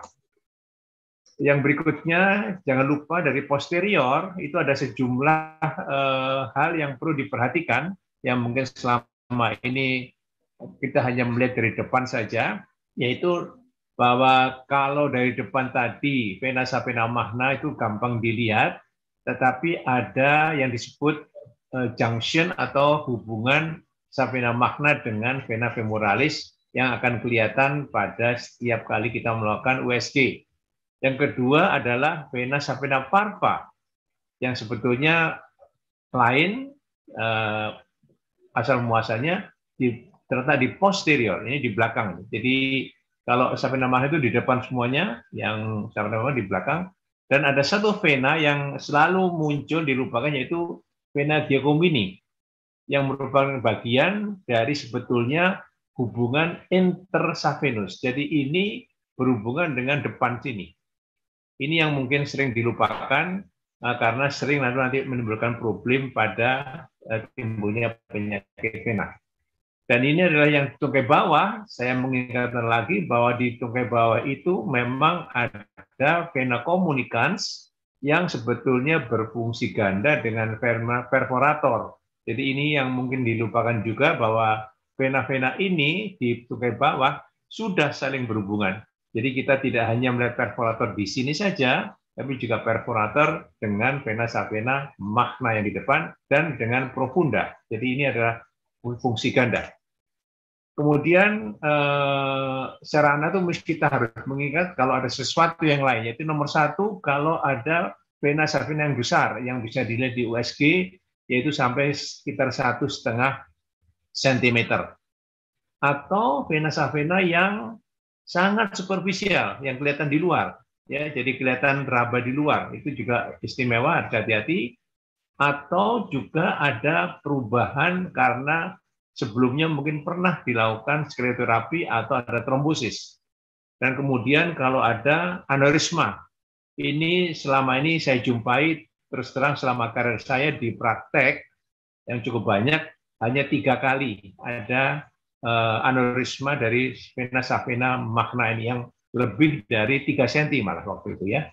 Kemudian jangan lupa di daerah kaki juga ada vena-vena yang perlu dilihat dan ini sering muncul duluan sebagai keluhan. Dan kemudian kalau ada eh, varises yang kebetulan masuk di daerah eh, inguina eh, di daerah vagina ya, terutama pada wanita, di daerah vulva itu vulvo perineal yang sering juga menimbulkan keluhan. Mengapa terjadi? Karena ada anatomi yang berikutnya nanti akan saya tunjukkan. Ini kenyataannya bahwa semuanya pasien itu mempunyai klep eh, di Mahnya jumlahnya kira-kira 6 sampai 7 yang panjang bisa 10 dan kalau vena savena itu menjadi varises maka jumlah klepnya berkurang. Dan yang terang kalau kita menjadi tua maka jumlah klep yang yang sufisien itu juga berkurang. Dan ini tadi eh, pertimbangan anatomis dari vena-vena yang keluar di perineal, yaitu yaitu yang disebut pelvic vein disorder. Ini memang jarang disinggung PVI ini karena semula dari adanya maternal syndrome, yaitu ada hambatan dari vena, terutama yang kiri pada wanita, dan kemudian oleh American Vein dan Lymphatic Society diperlukan klasifikasi PEVD yang disebut SPP classification, yaitu symptoms, varises, dan patofisiologinya. Dengan empat zona, dan ini terkait dengan zona 3 dan zona 4 pada gambar ini. Ini hal kecil. Dari epidemiologi eh, yang saya dapatkan dari eh, adalah bahwa prevalensinya memang katanya di Eropa dan Amerika, tapi di dunia juga ternyata banyak. Ya. Dan ternyata memang eh, yang C5 sampai C6 nanti saya terangkan mengapa C4 dan itu memang ada di Eropa. Dan ini ternyata juga survei dilakukan termasuk Indonesia di sini surveinya. Ya. Bahwa CVD itu sebetulnya ada suatu penyakit yang progresif. Dia terus berkembang jadi kalau ada pasien datang lalu mengatakan pada usia tertentu, katakan usia 60, dok saya punya varises, maka itu sudah terjadi sekian puluh tahun yang lalu. Mungkin 10 tahun yang sebelumnya. Karena dia progresif. Dan kita dilihat di sini dari pengamatan 13 tahun ini, dari statistik ini, memang 6, hampir 2 per 3 memang progresif. ya yang berikutnya patofisiologinya. Saya kira uh, untuk refresh saja patofisiologi nanti sekaligus kita sambung dengan pertimbangan bedahnya. Nomor satu, uh, sekali lagi bahwa CVD itu adalah proses inflamasi. Jadi sekali lagi saya juga kuliah bahwa varises itu sudah adalah penyakit yang disebabkan karena inflamasi. Mengapa inflamasi? Itu keterangannya adalah adanya aktivasi dari leukosit pada klep ini, pada klep vena ini, sehingga terjadi kebocoran atau insufficiency di klep ini. Dengan mekanisme seperti ini yang cukup rumit, yang terang nomor satu diawali dari perubahan struktural. Perubahan struktural ini adalah klep yang bocor. Tapi di level seluler lalu menyebabkan ini circulus viciosus ya karena di level sekuler timbullah reaksi inflamasi yaitu kebocoran nitrofil dengan segala macam uh, predikat untuk uh, radangnya sehingga terjadilah perlepasan atau tembusnya endotel sehingga terjadi fluid loss seperti ini dengan segala macam uh, eh, CD dan PyCam yang mempengaruhi dan ini terjadi pada level klep di sini yang kemudian selanjutnya menyebabkan lalu kami bocor dan terjadilah varikosis. Jadi suatu hal yang terus-menerus terjadi, kronik. Ya. Eh, kemudian selanjutnya juga ada mekanisme yang menyebabkan eh, kerangsangan pada nosiseptornya, yaitu adanya semuanya mediator inflamasi, termasuk bradikinin, serotonin, dan sebagainya, termasuk interleukin juga, yang merangsang pada serabut-serabut nosiseptor, yang menyebabkan nyeri nyeri yang lokal, tapi juga kadang-kadang nyeri yang diffuse. Dan malah dikatakan juga ada yang masuk nyeri di daerah ini, heat on the skin, dan esophageal balloon. Kata. Jadi sepertinya nyerinya di dada. Mengapa? Karena terjadi ini ada kebocoran tadi itu, kebocoran nitrofil yang kemudian merangsang saraf-saraf serabut nociceptif ini yang menimbulkan rasa nyeri. Kalau tampilan, jadi kalian listnya, maka sering adanya hipoksemi dari kulit itu menimbulkan perubahan trofik dari kulit. Apa itu perubahan trofik? Nanti saya tunjukkan. Tapi salah satu nanti akan juga menimbulkan juga kepucatan atau atrofi browns dan ulkus. Kemudian tadi ada klasifikasi PEPD tentang pelvic yang di mana saya terangkan tadi ada nyeri misalnya postcoital ache kemudian ada penyakit yang kemeng ya istilahnya itu atau kebas di tungkainya. Tampilannya seperti ini. Tampilan bisa katakan trunkal, retikuler atau kapiler seperti ini tampilannya ya. Tapi kalau kita lihat uh, symptomsnya memang seperti ini. Ada nyeri, ada rasa membakar, rasa berat, uh, pembengkakan, dan kadang-kadang semacam gatal atau rasa tidak enak yang sering muncul awal dari suatu ulkus. Dan kemudian uh, oleh ISVS itu diklasifikasikan sebagai SIP classification, yaitu CEAP, clinical, etiological, anatomical, dan pathological yang uh, ditunjukkan dalam gambar ini antara C1 sampai C6. Nanti akan saya ulangi lagi. Ini adalah tampilan lagi yang kapiler dan retikuler ini tampilan yang tadi itu, ini disebut kelainan trofik semacam ini ya, hampir seperti eksim. Ini juga lipodermatosklerosis, pigmentasi, eksema, kemudian ini ulkus yang menyembuh atau kelainan seperti ini. Dan SIP ini sekali lagi adalah asal muasalnya adalah dari huruf empat itu. Yang kemudian eh, secara eh, klinis diperlihatkan sebagai ini C1 tidak ada apa-apa atau kelihatan sedikit. C2 mulai ada varises, C3 ada udim, C4 ada kelainan tadi, lipodermatosis, implementasi, C5 adalah ulkus menyembuh, dan C6 ulkus yang masih aktif. Dan ini satu, satu contoh kasus yang kemudian dari C4 neglected menjadi advance. Jadi seperti ini.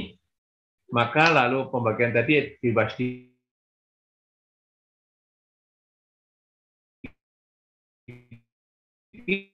tahun 2022 ini eh, klasifikasinya ditambahkan. Pengobatannya adalah ini.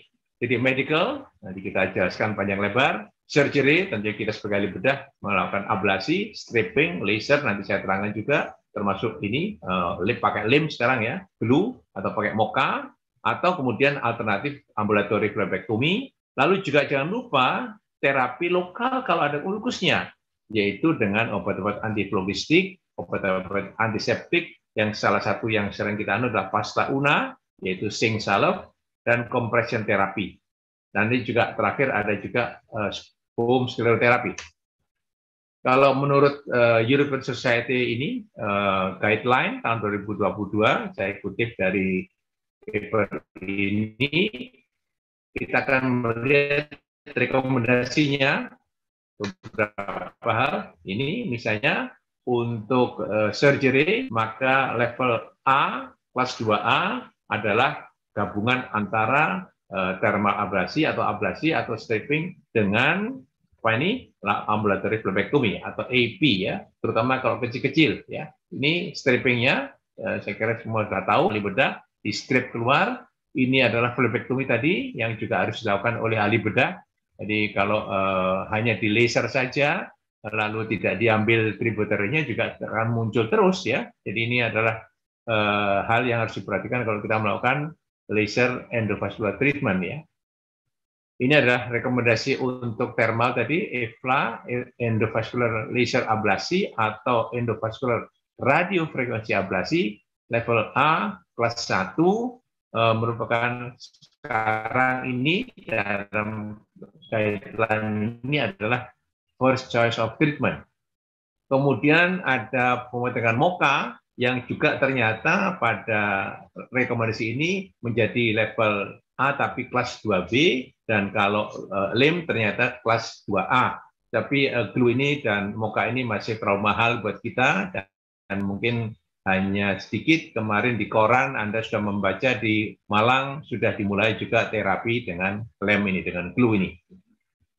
Psikoterapi juga dibuat itu hampir uh, sama tapi adalah alternatif dari uh, dari ambulatory phlebotomy AP dan kemudian juga ada yang memakai liquid atau memakai uh, foam ya tapi memang umumnya kalau kita bicara skleroterapi sering menimbulkan uh, kerusakan endotel ini adalah rekomendasi dari uh, 2022 sebaiknya dikombinasi antara uh, keduanya baik ambulatory phlebotomy dengan uh, ultrasound guided foam skleroterapi ada macam-macam sklerosan yang dipakai, tapi yang di Indonesia yang ada hanya polidokanol, yang lainnya kita hanya bisa kadang-kadang bisa didatangkan.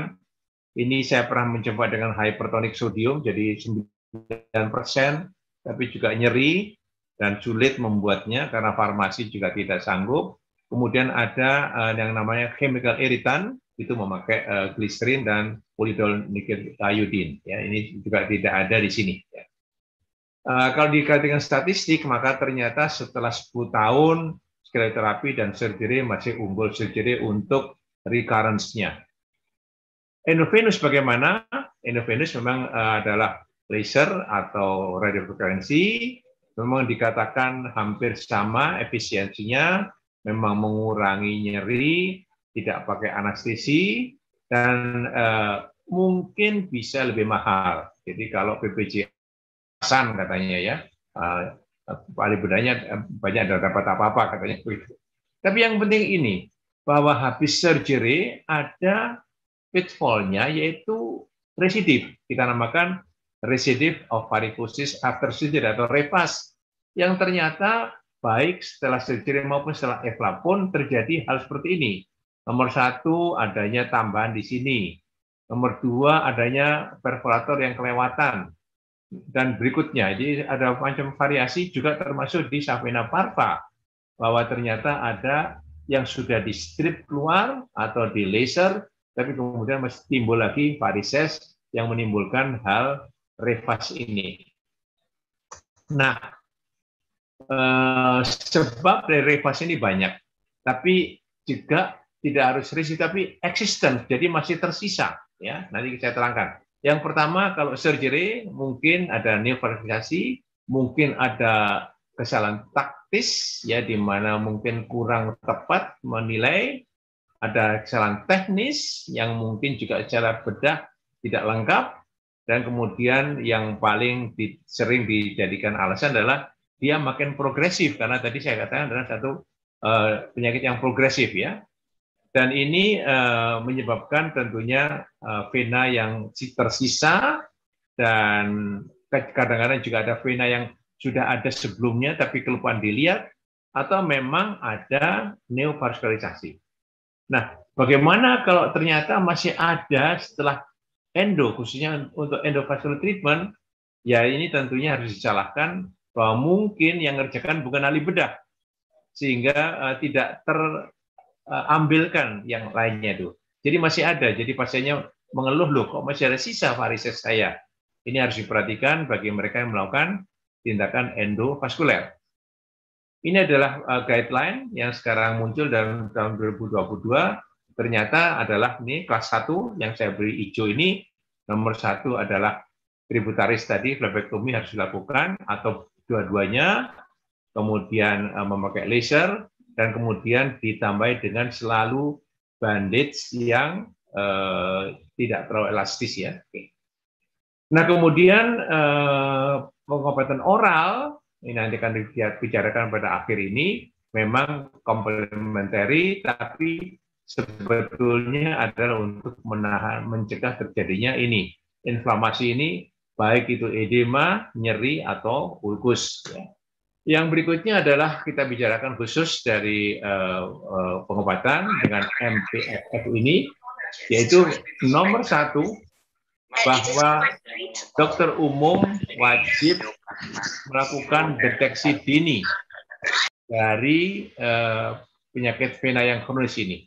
Sehingga harus diperhatikan juga uh, tentang uh, mereka yang bekerja sebagai dokter keluarga atau mungkin spesialis vaskuler.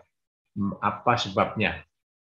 Kemudian dalam terapinya, maka umumnya obat-obat venoaktif itu sering dianjurkan, yaitu tujuannya untuk mengurangi nyeri dan memperbaiki kualitas hidupnya. Dan untuk ini ada yang disebut MPFF tadi, ya di, uh, berdasarkan survei dari 7.900 pasien, kita akan melihat nanti analisisnya cukup bagus, khususnya untuk perbaikan quality of life. Ya, ini nomor satu, dia memperbaiki pada C0 sampai C1 hampir 90 persen ya atau lebih dari 90 persen untuk mengurangi kram atau nyeri. Pada stadium yang lanjut dari C2 C4 mengurangi juga kemungkinan pendarahan.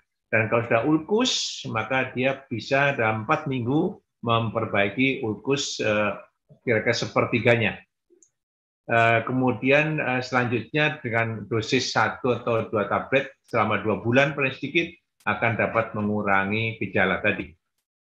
Selanjutnya dikatakan ada juga reduksi dari gejala dan khususnya untuk eh, quality of life-nya dari rasa berat, dari nyeri, dari bengkak dan dari kram tadi ya. Berikutnya eh, bahwa ternyata dari systemic review tadi hasil dari pengobatan MPFF tadi memang mengurangi nyeri, mengurangi kemungkinan terjadinya pendarahan karena tidak ada uh, ketegangan dan kemudian uh, simptomnya atau gejalanya akan lebih berkurang. Kemudian kalau setelah psikoterapi juga akan recovery lebih cepat dan kemudian eh, hematom juga akan berkurang kalau terjadi pada hematom atau eh, penghitaman kulit ya. Selanjutnya juga bahwa dia juga bertindak untuk mengobati akar permasalahannya yang tadi saya sebutkan tadi untuk mengurangi progresivitas. Jadi memperlambat sebetulnya. Jadi kalau kalau tidak minum mungkin akan uh, akan berlama-lama ya. Kalau minum lebih cepat ya. Eh, selanjutnya dikatakan bahwa MPFF ini adalah obat yang betul-betul di micronize sehingga eh, kualitas yang tinggi dari micronize ini menyebabkan gampangnya penetrasi pada eh, target yang diinginkan. Yang terakhir adalah guideline internasional. Kita bicara ini adalah kembali saya merujuk pada ini guideline tahun 2022 dari European Society of Vascular Surgery ya di mana memang dikatakan MPFF adalah sudah lama menjadi eh, obat utama dan bahwa sekarang ini dari uh, rekomendasi itu untuk mengobati uh, ulkus termasuk grade A ya. Yang lain juga ada grade A pentoxifilin dan sebagainya tapi yang uh, sulodoksid dan hidroksietilrutosid itu grade B, tapi sayangnya untuk ruskus dan yang lainnya tidak ada data. Tegumetsis dari pengobatan pengobatan kronik ini atau pengobatan medis nomor satu bahwa demografi harus dilihat terutama di daerah barat. Apakah kita di daerah timur juga? Ya perlu juga meskipun mungkin lebih sedikit. Eh, kemudian jangan lupa bahwa ini adalah eh, reaksi molekuler di level leukosit dan bahwa dengan adanya MPFF kita akan mencegah disfungsi tadi dan kemudian juga efektif pada semua simptom dari C0 sampai C6 dan kemudian rekomendasinya eh, tahun 2018 termasuk rekomendasi yang cukup kuat yaitu grade A tadi. Sebagai kesimpulan, yang pertama adalah bahwa pengobatan CPD itu terutama ditujukan pada gejala yang tidak enak tadi, yang mengurangi quality of life. Dan pengobatan dari chronic venous insufficiency adalah mencegah agar tidak terjadi hal yang kronis tadi, yang terus-menerus terjadi. Sehingga mungkin pada awal memang kita bisa melakukan pengobatan CPI untuk uh, secara konservatif. Apa sih bedanya bedanya CPI dan CPD? CPD adalah dalam disease tampilan tadi dan I adalah CPI adalah patofisiologinya. Sama yang kedua, nomor uh, berikutnya adalah bahwa ternyata ligasi dan stripping memang sudah menjadi standar kita lebih dari berapa tabat ya dari ahli bedah. Tapi uh, terapi endovenous uh, treatment memang menjadi alternatif dan sekarang ablasi dengan radiofrekuensi atau dengan laser dan ultrasound guided foam menjadi salah satu tambahan termasuk juga injeksi dengan glue tadi dengan lem dan yang terakhir bahwa endovenous treatment itu memang sampai sekarang sudah diangkat sebagai terapi yang aman, efektif, sebagai alternatif dari bedah dengan uh, efikasi yang sempurna, hanya jangan dilupakan sebaiknya dilakukan oleh ahli bedah. Jadi artinya selain kita mengablasi makna yang varises, kita juga mengambil plebektomi tadi varises yang lain yang tentunya hanya bisa dilakukan oleh ahli bedah. Ya, oke. Demikian, terima kasih atas beritanya eh, dan semoga bermanfaat bagi para pendengar. Assalamualaikum warahmatullahi wabarakatuh.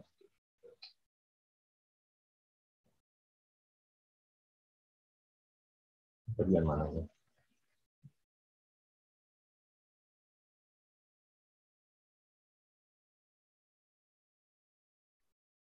Terima kasih Prof. Vito atas presentasi yang luar biasa ya bagi kita semua baik ahli bedah dokter umum, dokter spesialis penyakit dalam yang hadir pada webinar pada pagi ini dan mahasiswa kedokteran. Uh, silakan teman sejawat untuk pertanyaan bisa disiapkan atau diketik di kolom chat nanti ataupun bisa langsung bertanya kepada Profesor Purito. Sesi tanya jawab akan kami mulai setelah uh, sesi yang terakhir. Selanjutnya kita akan melangkah ke topik berikutnya. Kami sangat berbahagia pada pagi ini kita uh, bersama Profesor Dr. Dino Alfani Gani, dokter spesialis penyakit dalam, konsultan gastro dan hepatologi. Uh, beliau adalah uh, guru besar di Fakultas Kedokteran Universitas Indonesia Beliau uh, menamatkan FK di UI tahun 87, kemudian penyakit dalam dan konsultan di gastroenterohepatologi. Uh, beliau merupakan guru besar sejak tahun 2019 di Fakultas Kedokteran Universitas Indonesia. Saat ini beliau menjabat sebagai kepala dari Divisi Hepatobiliari, Departemen dari Penyakit Dalam FKUI. Kemudian kita bisa lihat di sini sederet uh, jabatan yang beliau emban di Asia Pasifik juga uh, sungguh banyak ya uh, beliau ini berpartisipasi di lokal maupun regional. Profesor Dr. Dino akan membawakan topik mengenai hemorrhoid management, role and benefit of synchronized purified flavonoid factor. Kepada Profesor Dr. Rino, waktu dan tempat kami persilakan. Baik, terima kasih uh, uh, moderator dan saya ucapkan terima kasih pula kepada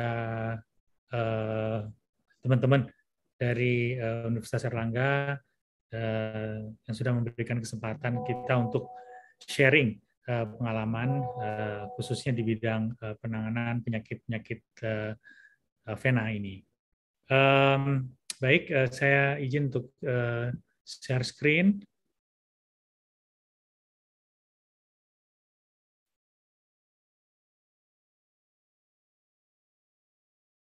Oh.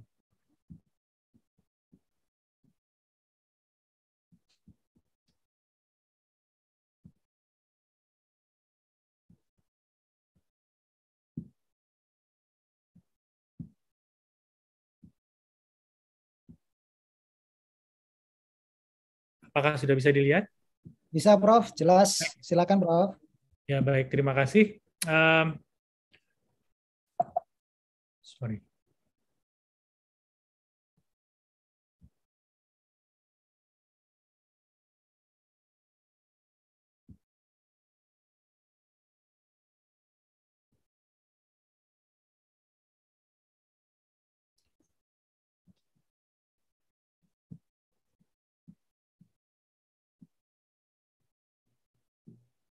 Ya, uh, yang saya akan bicarakan pada pagi hari ini adalah uh, manajemen dari uh, hemoroid. Uh, seperti kita ketahui, hemoroid atau wasir atau ambeien uh, merupakan satu persoalan yang uh, apa, uh, tidak jarang kita temukan dalam uh, praktek sehari-hari. Um, dan hemoroid ini disebabkan oleh karena pembesaran dari vena di daerah eh, rektum. Di Indonesia sendiri diperkirakan ada sekitar 10 juta orang yang bermasalah dengan eh, hemoroid tersebut. Dan 25 persen di antaranya juga berulang gitu ya dalam waktu yang cukup singkat. Patofisiologi dari terjadinya hemoroid adalah berbagai faktor antara lain uh, disebabkan oleh karena meningkatnya tekanan di intraabdominal, uh, usia, lalu kemudian juga uh, meningkatnya uh, uh, aliran darah di daerah uh, rektum, uh, kemudian juga adanya uh, apa uh, injury ya secara mekanik misalnya uh, bangku yang terlalu keras, adanya inflamasi ya di daerah uh, rektum tersebut ya dan juga adanya statis dari uh, vena uh, yang ini sering ditemukan misalnya pada pasien dengan hipertensi portal. Kemudian um, apa, itu menyebabkan uh, apa, daerah anal ini um, uh, terjadi gangguan inflamasi dan juga fiksasi yang menghilang uh, dari uh, uh, pembuluh darah di daerah anal dan kemudian terjadilah uh, hemoroid. Ini uh, gambaran dari uh, patofisiologi terjadinya hemoroid pertama terjadi pertama-tama adalah ada generasi dari uh, jaringan-jaringan uh, penunjang di uh, jaringan ikat penunjang di daerah apa uh, rektum. Kemudian terjadi prolaps ya dari um, apa uh, vena yang ada di sana mengakibatkan stagnasi dari uh, darah dan uh, kemudian dapat terjadi uh, pembukuan di daerah uh, uh, vena tersebut Eh, yang dapat mengakibatkan aktivasi dari leukosit dan kemudian selanjutnya terjadi inflamasi dan kemudian menimbulkan eh, gejala seperti nyeri, kemudian eh, perdarahan, kemudian adanya gatal, pruritus, ani, ya, adanya tenesmus, ya, dan juga prolaps. Nah, beberapa gejala yang sering ditemukan pada pasien-pasien dengan hemoroid adalah adanya bleeding atau perdarahan uh, apa perektum. Bleedingnya biasanya uh, terpisah dari uh, apa dari uh, uh, feses dan kemudian uh, menetes ya. Uh, sering ada diikuti dengan uh, pain apabila terutama apabila terjadi trombosis ya di vena atau di hemoroid tersebut, gatal di daerah anal juga kemudian adanya discomfort atau tidak enak ya di daerah anus tersebut, ada rasa panas dan adanya benjolan yang sering ditemukan pada saat pasien apa cebok. Evaluasi klinis secara medis dapat mengklasifikasi hemoroid tersebut. Kita kenal di sini yang paling sering digunakan adalah uh, klasifikasi Goliger, uh, yaitu uh, grade 1 uh, sudah terjadi dilatasi dari vena di, rektum atau hemoroid, tetapi belum prolaps. Grade 2 sudah terjadi prolaps, tetapi masih bisa keluar masuk ininya apa venanya. Kemudian grade 3 uh, ya, grade 3 ada bisa, bisa keluar masuk dan grade 4 tidak lagi bisa keluar masuk uh, apa uh, vena yang dilatasi tersebut. Untuk membuktikan adanya hemoroid bisa dilakukan pemeriksaan secara inspeksi secara eksternal dari luar. Kemudian dengan pemeriksaan yang proktoskopi bisa dilihat adanya pembesaran dari vena tersebut. Umumnya hemoroid tidak bisa diraba kecuali bila sudah terjadi trombosis ya di daerah uh, vena tersebut. Uh, ini satu guideline untuk penata laksanaan dari hemoroid. Untuk berbagai grade, maka tentu penata laksanaan dengan diet dan modifikasi dari lifestyle sangat penting. Diet di sini tentu dianjurkan adalah diet yang tinggi serat, terutama serat yang insoluble, dan uh, sekitar sampai 25 sampai 30 gram serat per harinya. Lalu kemudian uh, apa olahraga, terutama olahraga yang dapat memperkuat dinding apa pelvis ya dan juga dasar panggul sehingga meningkatkan apa, eh, ketahanan dari vena-vena yang ada di rektum tersebut. Uh, kemudian selain dari diet dan juga olahraga, maka uh, uh, untuk berbagai grade pemberian obat-obat yang bisa diberikan per oral, terutama yang venoaktif, uh, bisa dianjurkan. Di sini peran dari micronized pulverized flavonoid fraction atau MPFF ini bisa dipertimbangkan. Untuk grade-grade 1 dan grade 2, maka uh, skleroterapi bisa dilakukan. Atau uh, kalau dilakukan ligasi, uh, sampai dengan grade 3 masih diberikan bisa diberikan pertimbangan untuk dilakukan ligasi. Kemudian juga cara-cara lain dengan apa non-exceptional uh, operations. Hemoroidopeksi dengan staple dengan dengan stapler uh, bisa dilakukan untuk grade 3 dan grade 4 dan juga uh, tentunya uh, hemoroidektomi secara terbuka bisa dilakukan mulai dari grade 2 sampai grade uh, 4. Um, dalam hal uh, penggunaan micronized pulverized uh, flavonoid fraction ini, maka uh, beberapa penelitian sudah sejak lama membuktikan uh, efek, uh, efektivitas dari uh, MPFF ini. Di sini pada hari kedua MPFF sudah dapat memberikan hasil yang apa baik pada pasien-pasien yang akut terjadinya apa hemoroid Eh, gejala dari hemoroid tersebut, di mana pada hari pertama itu 1.500 eh, mg eh, dua kali sehari, kemudian hari kedua 1.000 mg dua kali sehari selama tiga hari berikutnya. MPFF juga dapat menurunkan apa, nyeri pada anus dan juga frekuensi dari bleeding, sehingga apa, pada 84 persen pasien nyeri ter, dapat di uh, apa, dihentikan. Begitupun pada bleeding yang terjadi juga dapat dihentikan pada mayoritas dari pasien-pasien tersebut.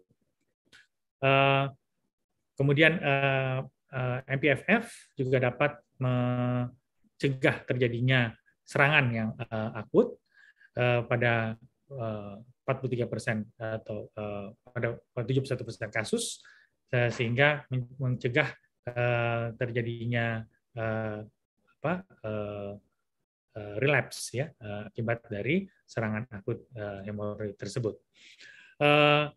MPFF dapat menurunkan frekuensi dari perdarahan dan memperbaiki symptoms dari hemoroid tersebut dalam hal ini mengurangi gatal-gatal, mengurangi nyeri dan panas di daerah rektum. MPFF juga dapat digunakan pada post hemoroidektomi, di mana nyeri maupun tenesmus serta perdarahan berkurang setelah diberikan MPFF dibandingkan dengan placebo. Begitupun recovery ya dari post hemoroidektomi ini kelihatannya cukup bermanfaat yaitu dalam hal mengurangi nyeri kemudian analgesik pada kasus-kasus yang apa post hemoroidektomi tadi. Ini satu meta analisis yang cukup saya kira cukup cukup penting dan baru kita dapatkan review di mana hasilnya ternyata pada apa meta analisis tersebut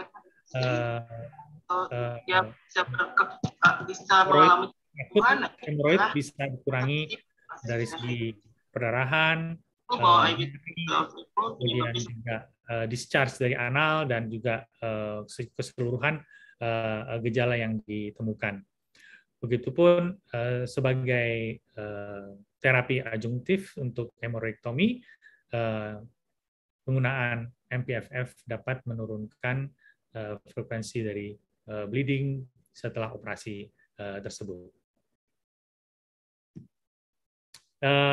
Ini apa jurnalnya, systematic review dan meta-analysis dari penggunaan micronized purified flavonoid fraction yang hasilnya ternyata dari berbagai penelitian MPFF ini memberikan hasil yang menguntungkan dalam manajemen pasien dengan apa wasir atau hemoroid dalam hal ini mengurangi bleeding dan juga gejala-gejala dari hemoroid tadi.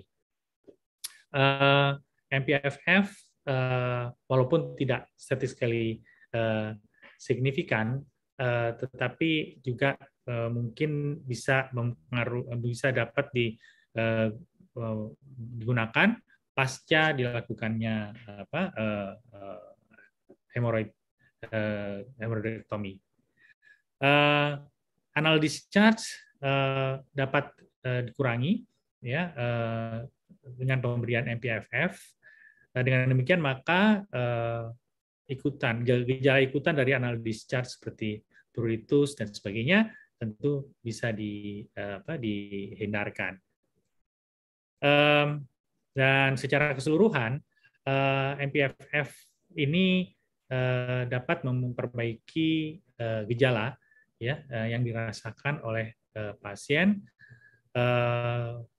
setelah satu episode dari hemoroid pada pasien tersebut. Dan secara keseluruhan pasien merasakan manfaat ya dengan secara signifikan setelah penggunaan MPFF ini.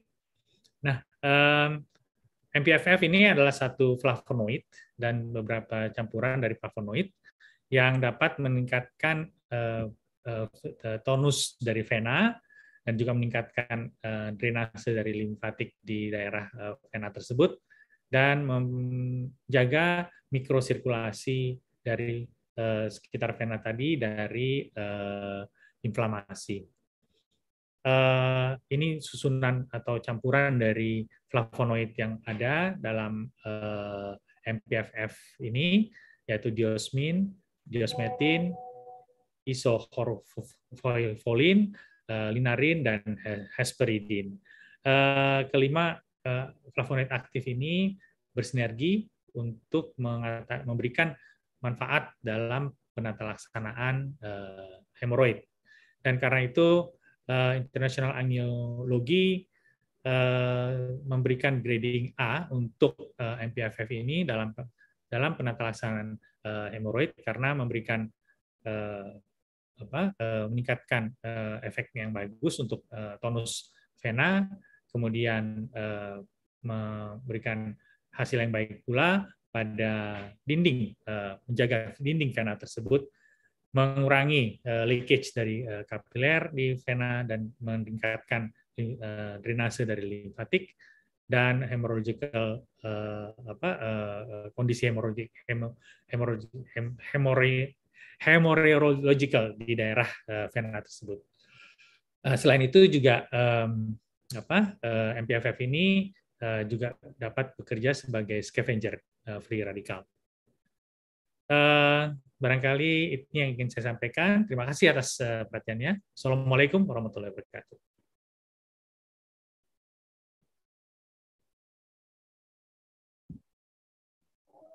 Terima kasih Prof untuk sharing kita pada hari ini ya untuk refreshing bagi teman sejawat semua. Uh, kita sekarang melangkah ke forum tanya jawab. Izinkan kami untuk membaca terlebih dahulu tanya jawab yang ada di kolom chat dulu. Nanti setelah ini saya akan memberikan kesempatan kepada teman sejawat untuk langsung uh, raise hand ya. Ada dua pertanyaan untuk pertama untuk Prof Purito. Dari Dr. Bobby di Ambon. Nah, Bagaimana cara membedakan bengkak karena CVI atau karena limedema, Prof? Itu yang pertama. Yang kedua dari Kabupaten Adis, Adiasta dari Mataram. Bertanya Prof, untuk ardium dapat digunakan untuk mengurangi nyeri dan mencegah terjadinya perberatan kondisi pada CVD. Seandainya pasien telah menjalani operasi namun keluhan bengkak dan nyeri masih ada, apakah ada tempat untuk digunakan ardium atau dapat dikombinasikan dengan terapi lain? Terima kasih Prof. Silakan Prof. Purito. Terima kasih pertanyaannya. Udim itu pitting udim. Jadi kalau tekan akan uh, isinya air. Kalau uh, lymph edema, limfatik, maka non pitting nomor satu. Nomor dua, kalau CVI umumnya edemnya bilateral, dua kaki, dua tungkai. Sedang kalau limfatik bisa hanya satu tungkai. Tapi yang penting juga Anda harus mengingat kalau ada edema atau bengkak pada tungkai karena dekompensasi korbis. Maka itu harus dinilai juga jantungnya, tekanan darahnya. Jadi itu hal-hal yang harus diperhatikan mungkin hal kecil yang bisa ditanyakan pada pasien, kalau CVI, udimnya itu tadi bilateral, tapi kalau dia mengangkat kakinya hari kempes. Sedang kalau dekom cordis, ya tetap enggak gitu ya. Sedang kalau uh, limfatik, ya tidak akan kempes. Ya. Pertanyaan kedua, udim, uh, ardium mengobati bengkak dan nyeri. Tapi kalau dioperasi sudah dioperasi lalu masih bengkak dan nyeri, apakah adim ada tempatnya? Ya Anda harus harus menilai juga sebab dari bengkak dan nyeri pasca operasi itu. Loh, kan pasien mengeluh. Saya mau operasi dok supaya bengkak dan nyeri hilang. Ini habis operasi kok masih bengkak dan nyeri. Ya dilihat dulu apakah nomor satu varisesnya hilang apa enggak. Kalau varisesnya hilang, maka operasi Anda sukses. Tapi kalau bengkak dan nyerinya masih ada, harus dicari sebab apakah bengkak itu karena sebab lain ya uh, di mana mungkin fungsi ardium harus dipertanyakan dulu apakah masih bisa eh, mengurangi bengkak itu. Ya dicoba saja. Kalau dengan pengobatan satu minggu tidak hilang, ya berarti ardium tidak ada tempatnya. Karena sebetulnya pengaruh eh, menghilangkan bengkak dan nyeri pada ardium tadi karena adanya chronic venous insufficiency atau mungkin karena varises. Jadi kalau sudah dioperasi hilang varisesnya, gejala masih ada, yang mungkin karena sebab lain. Yang itu harus Anda cari. Itu saja. Terima kasih. Ya, terima kasih Prof. Pito. Untuk menyambung pertanyaan tadi teman sejawat tadi yang di Mataram sama Lom, uh, Ambon. Kalau begitu, selain tadi praktis uh, uh, klinik praktis yang Prof ajarkan tadi untuk mengangkat lengan, uh, kaki dan sebagainya, bagaimana peran ultrasound, Prof? Untuk menentukan apakah ini suatu chronic venous disease pada tungkai atau karena penyebab lain. Terima kasih, Prof.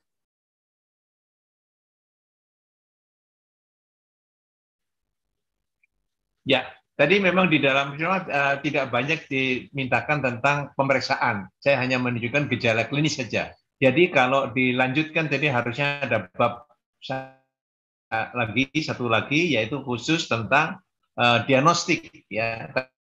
Tapi kalau dis tadi jadi masih ingat mungkin di kuliah uh, tes Tranenberg dan tes Pertes kalau ada varises trungkal maka kita bisa melakukan tes itu jelas. Tapi kalau trungkal sudah kelihatan dari luar. Tapi masalahnya bagaimana dilihat uh, dari cara lain? Ya betul. Maka cara lain adalah melakukan uh, ultrasonografi. Nah, ultrasonografi apa yang harus dianjurkan? selain Doppler biasa, maka kita juga melakukan yang disebut duplex ultrasound. Ya, jadi artinya pemeriksaan itu ditujukan dalam keadaan berdiri dan dilihat refluksnya, di mana dari ultrasound tadi kita bisa melihat gelombang yang kemudian kelihatan merah aliran uh, darah yang uh, arteri artinya ada reflux. Jadi dilihat ada duplex scan, yaitu men-scan dengan USG khusus jalur vena. Dan di sana ada teknik yang sangat uh, penting, khususnya bagi para ahli bedah yang bergerak di sini, bahwa uh, apa namanya itu alatnya jangan terlalu ditekan, jadi agar tidak menekan venanya.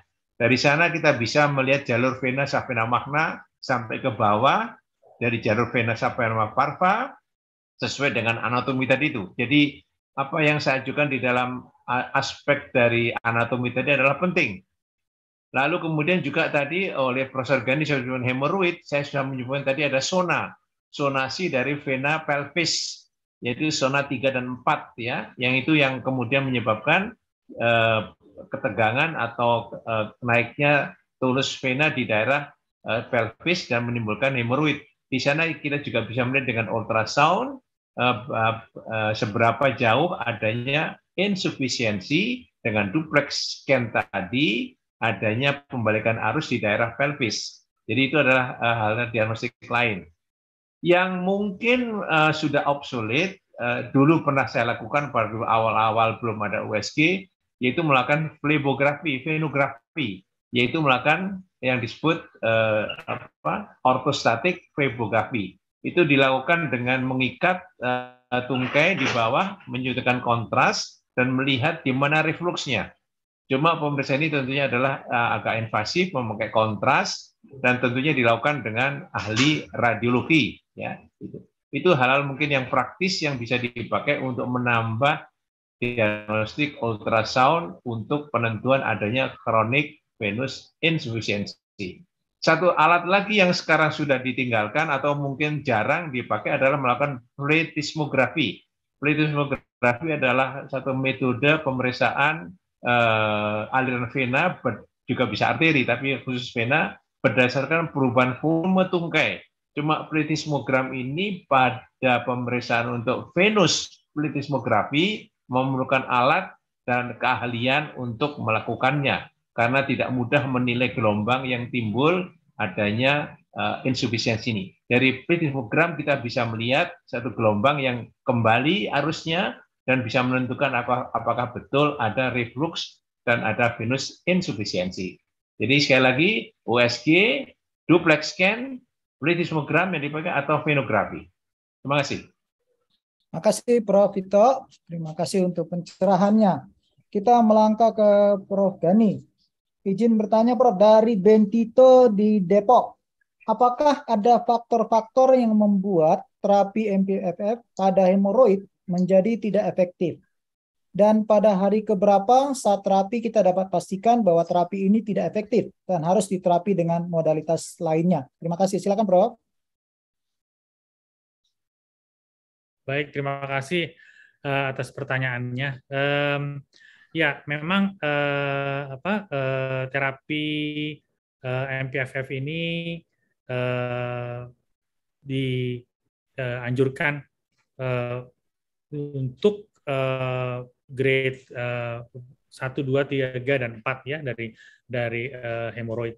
Uh, uh, namun untuk yang grade ke apa uh, grade 3 uh, tentu terapi yang akan uh, efektif uh, adalah dengan uh, memberikan uh, tindakan uh, apakah dengan melakukan uh, apa um, bending atau uh, untuk yang grade 4 maka uh, uh, apa uh, tindakan operatif uh, lebih dianjurkan oleh karena itu akan lebih apa bermanfaat di mana uh, dalam hal ini uh, MPFF ini berfungsi sebagai uh, apa uh, uh, adjunctive treatment atau treatment uh, pembantu.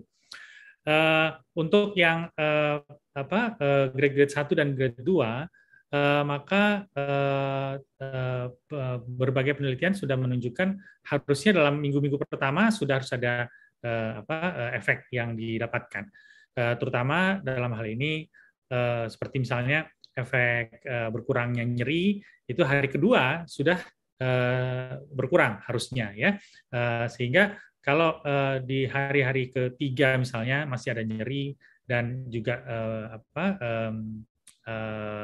benjolannya masih ada, maka boleh dikatakan kita harus melakukan tindakan yang lain yang lebih apa mungkin lebih invasif.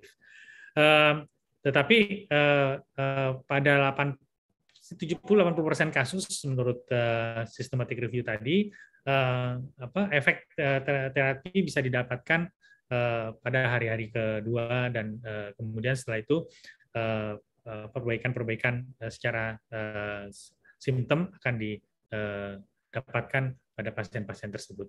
Saya kira demikian. Terima kasih Prof. Dani. Meneruskan pertanyaan tadi Prof, pada kasus-kasus hemoroid interna yang tidak dilakukan surgical ya atau pembedahan. Tadi Prof mengatakan ada dosis untuk pemberian MPFF tadi ya, untuk fase akut maupun yang sudah melewati fase akut ya Prof. Nah, Uh, tadi Prof katanya ada pemberian selama bisa sampai dua bulan ya Prof ya? Iya. Untuk hmm. ya. Nah kalau misalnya misalnya pasti kadang-kadang kan pasien itu datang sudah enak, biasanya obat di stop ya Prof ya? Kan biasanya hmm. gitu. Yeah. Baik bedah yeah. maupun non bedah ini suka begitu. Jadi sudah enak yeah. sudah stop. Nah kalau dia datang lagi dengan uh, mulai dari awal lagi, apakah uh, pedoman terapinya itu di, tetap mulai dari awal lagi seperti tadi atau kita bisa meneruskan? Bagaimana Prof kerjanya MPFF ini? Terima kasih Prof. Baik, terima kasih. Uh, ya jadi memang uh, kalau lihat dari uh, kondisi yang akut ya, uh, maka uh, ya kita harus mulai dari awal lagi. Ya, mulai lagi dari awal. Uh, oleh karena uh, flavonoid ini kan sifatnya uh, sementara ya, jadi uh, dalam uh, sehingga tidak bisa uh, memelihara kondisi tersebut secara terus-menerus ya. Apalagi eh, apa eh, beberapa tadi sudah dijelaskan mengenai faktor risiko yang menimbulkan itu bisa eh, ada eh, ada terus ya misalnya kelemahan dari eh, apa otot otot atau kelemahan dari dasar panggul ya eh, sehingga terbentuknya hemoroid bisa timbul lagi. Nah, pada kondisi tersebut maka uh, pemberian dari uh, apa uh, MPFF ini harus dimulai dari awal seperti sudah dijelaskan pada akut uh, serangan akut tadi. Makasih Prof. Ini melanjutkan Prof. Ini seru kelihatannya. Ada pertanyaan dari Andri di Ngawi. Nah, bagaimana kalau kita ngomong mengenai keamanan? Tadi kan kalau diberikan sampai dua bulan, baik pada kasus hemoroid maupun uh, kasus CVD. Silakan Prof. Pengalamannya Prof. Gani sama Prof. Ito, silakan. Baik, saya duluan barangkali ya. Uh, ya, uh, ya sel, uh, selama ini uh, dan juga dari systematic review tadi uh, didapatkan uh, pemberian uh, selama dua bulan tidak memberikan efek samping yang uh, apa uh, uh, jadi segi keamanan cukup cukup baik ya uh, apa MPFF ini. Uh, uh, kita tahu juga uh, flavonoid ini uh, sebenarnya didapatkan dari herbal gitu ya. Jadi uh, di, di satu pihak mungkin uh, memberikan uh, apa uh, uh, keamanan yang yang cukup baik ya pada pasien-pasien walaupun digunakan untuk uh, waktu yang cukup lama ya sampai dengan dua bulan. Kalau dari Prof. Rito mungkin bagaimana pengalamannya? Ya, baik, terima kasih. Jadi penggunaan oral dari MPFF jangka panjang Betul tadi kata Prof. Gangi adalah suatu herbal. Jadi uh, fitokimia yang tentunya uh, kurang menimbulkan komplikasi humoral ya. Jadi uh, bisa dipakai jangka panjang. Tetapi dalam beberapa persentase yang kecil kadang-kadang ada uh, komplikasi yaitu berupa obsipasi yang tentunya pada tiap pasien tidak sama. Ada yang tolerans, ada yang tidak tolerans. Nah, kalau ada obstipasi tentunya kita harus mempertimbangkan untuk tidak terlalu lama menggunakan itu. Itu uh, dari apa yang sering saya dapatkan di praktek dari penggunaan ini. Tapi secara kimiawi, fitokimia, uh, maka obat-obatan flavonoid ini adalah obat-obatan yang relatif toksisitas saya kira juga Prof. setuju tidak liver toxic dan tidak nefrotoksik ya. Tapi mungkin duit toksik lalu. Baik, terima kasih Prof. Ita dan Prof. Gani. Jadi uh, teman sejawat, jadi uh, um, flavonoid ini cukup aman ya untuk digunakan dalam uh, sampai dua bulan. Selanjutnya kita ke Prof. Purito. Ini ada pertanyaan dari teman sejawat di Ambon dan Sidoarjo. Jadi kalau misalnya mereka tidak uh, mempunyai alat EFLA, ini kan seperti Prof dulu kan zamannya belum ada. Saya juga baru-baru ini ada alat laser ini. Nah, kalau tidak memiliki fasilitas EFLA di Ambon nih, mana yang lebih dipilih, Prof? Apakah stripping pena atau ligasi? Kemudian juga ada pertanyaan Dr. Melisa di Sidoarjo. Eh, keuntungan dan kerugian EFLA bila dibandingkan stripping pena atau ligasi. Silakan Prof. Vito.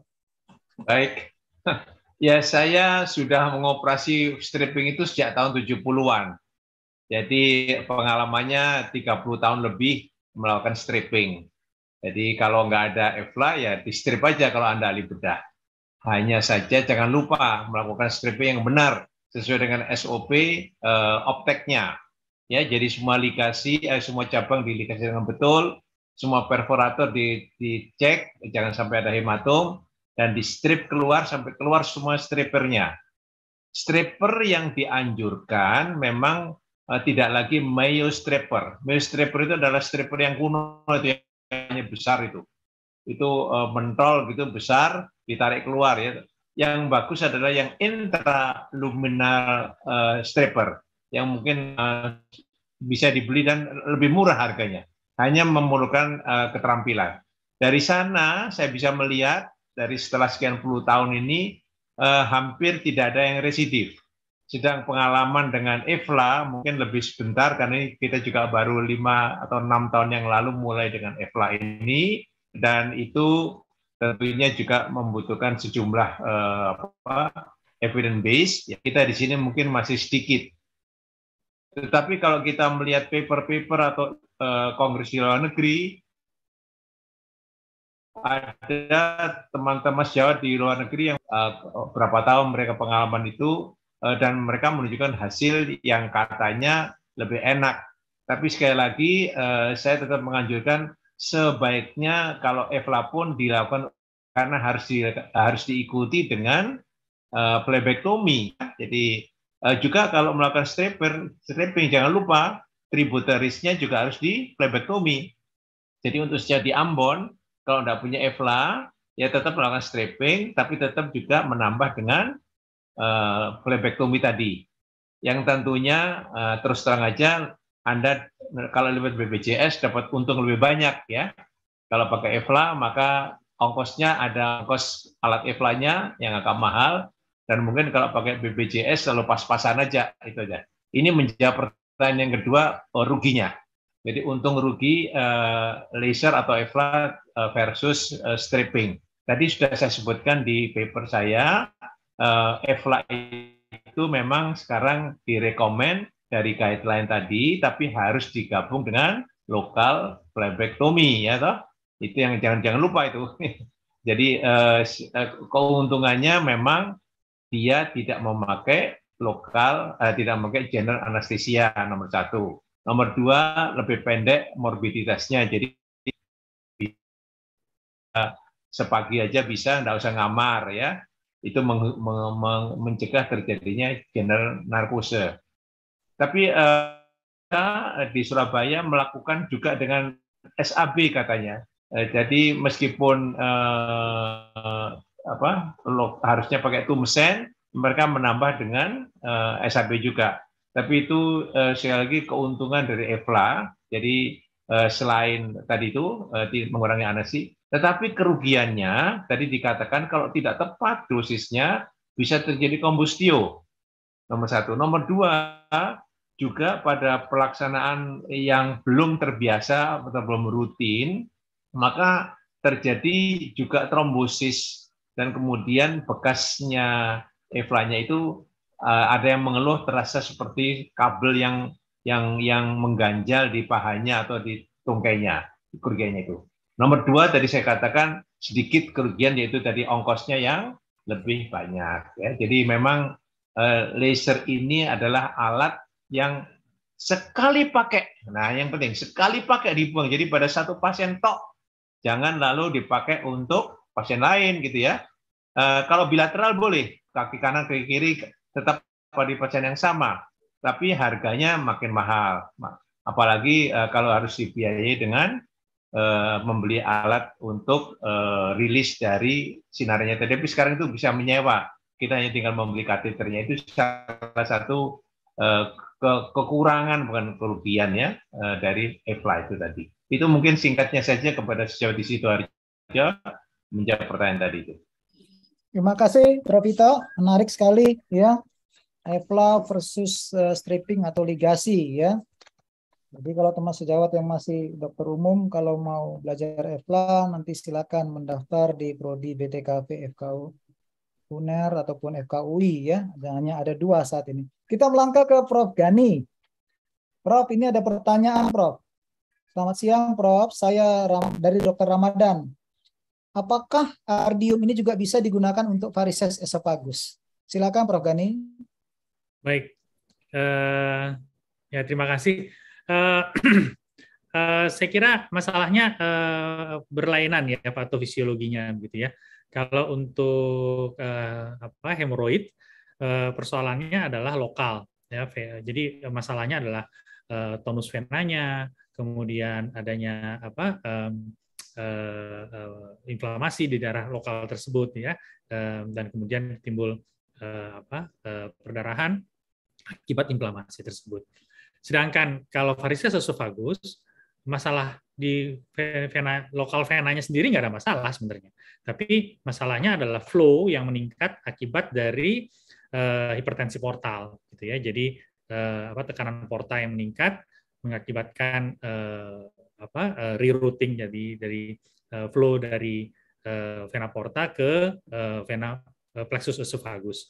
Uh, dan itu menyebabkan uh, apa, uh, aliran yang uh, bertambah dan kemudian tekanan yang meningkat menyebabkan uh, apa, uh, pecahnya vena tersebut. Jadi lokal venanya sendiri nggak ada masalah gitu ya, tapi uh, apa tekanan portanya yang jadi masalah. Karena itu uh, apa uh, dalam hal ini eh, MPFF tidak bisa digunakan eh, karena eh, penata laksananya tentu harus ke akarnya yaitu menurunkan hipertensi portalnya. Demikian, Terima kasih. Ya, terima kasih Prof. Rasanya sudah cukup jelas ya teman sejawat ya. Jadi ya. memang tidak semua yang namanya varises itu ya. bisa diberikan flavonoid ya. Terima kasih ya. Prof. Saya juga dapat pencerahan ini walaupun bukan uh, walaupun dokter bedah ya. Oke, teman sejawat menarik sekali. Ini saya ada satu lagi pertanyaan. Mungkin ini pertanyaan terakhir ya karena waktunya juga sudah uh, cukup. Dari Dokter Putu di Rumah Sakit Siloam Bali untuk Profito. Jadi ini memang kalau Bali ini kan banyak orang asingnya ya Prof ya. Kita tahu orang asing ya, ya. memang ya. Untuk, uh, predisposisi untuk terjadinya suatu trombus atau apa pun itu cukup tinggi.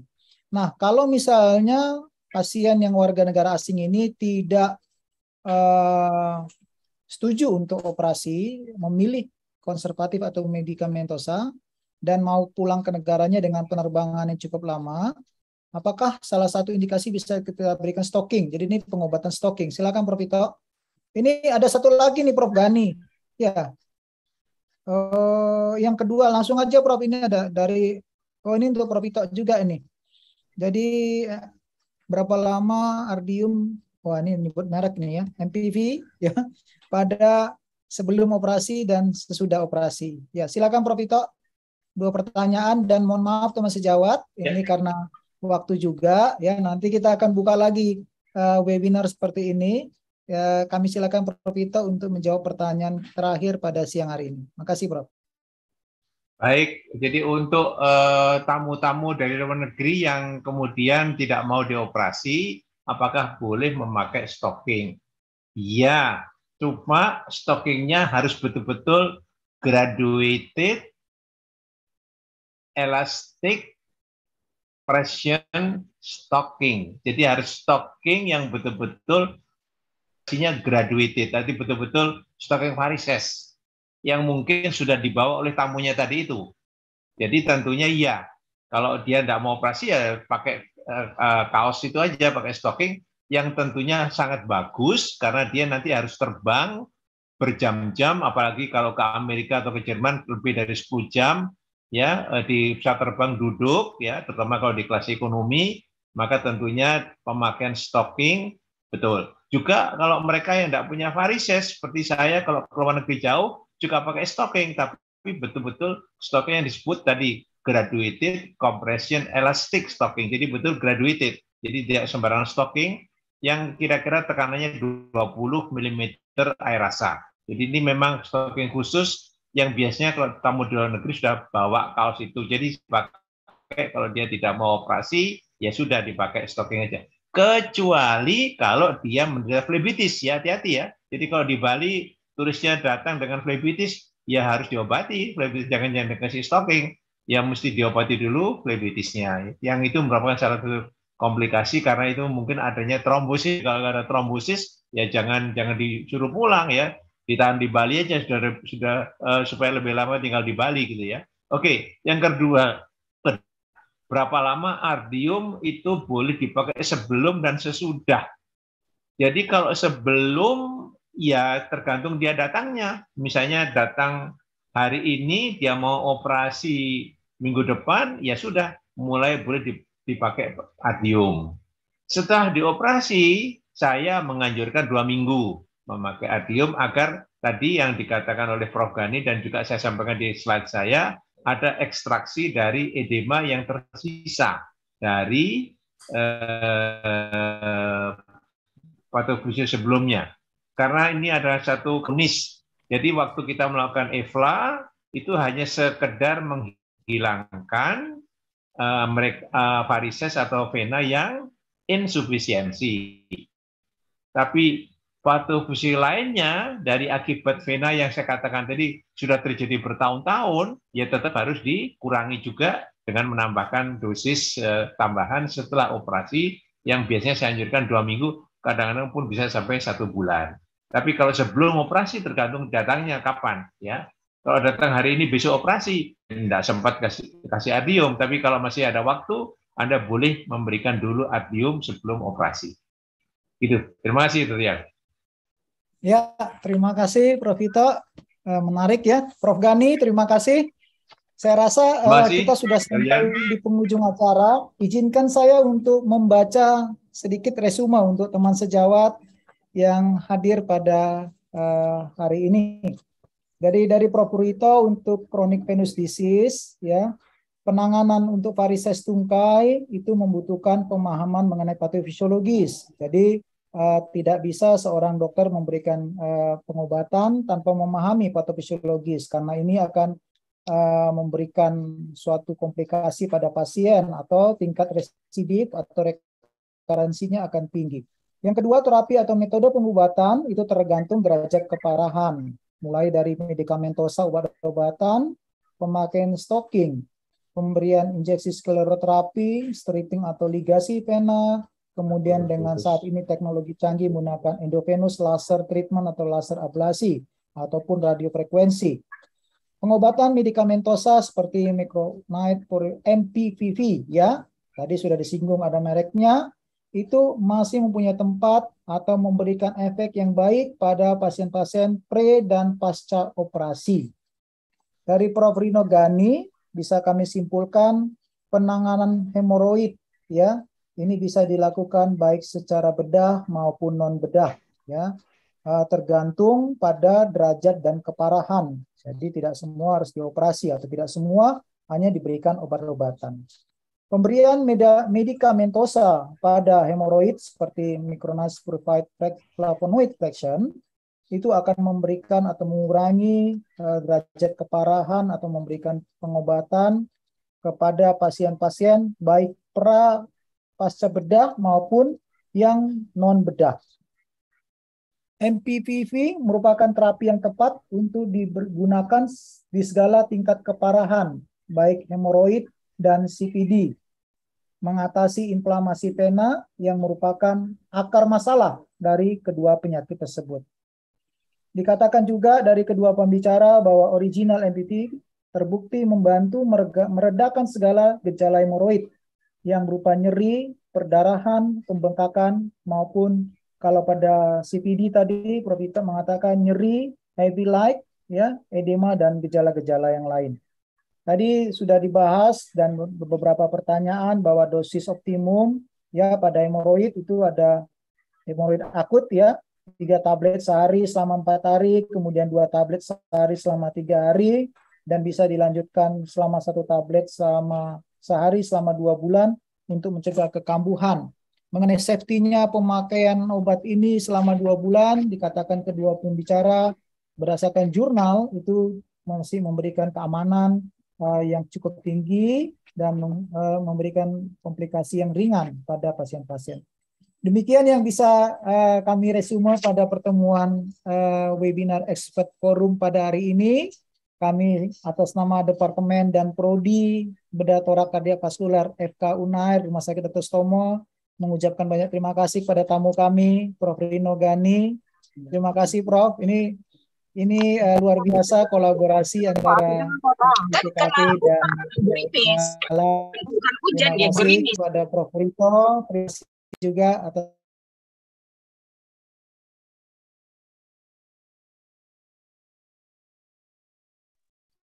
eh, dan kepada sponsor kami PT Servier ya dengan produk Ardiumnya kami mengucapkan banyak terima kasih kepada teman sejawat yang dengan setia masih uh, terus mengikuti sampai akhir. Kami mohon mengisi absen karena nanti akan mempermudah panitia untuk mengirimkan uh, sertifikat dari uh, panitia yang sudah ber-SKPID.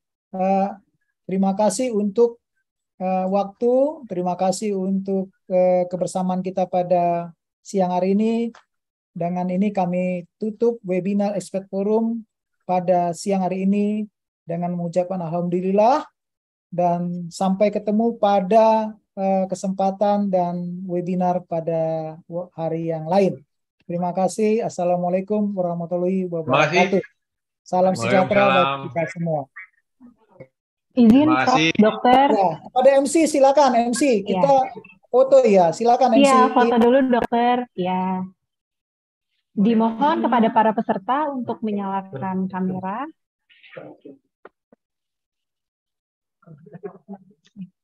Kami mohon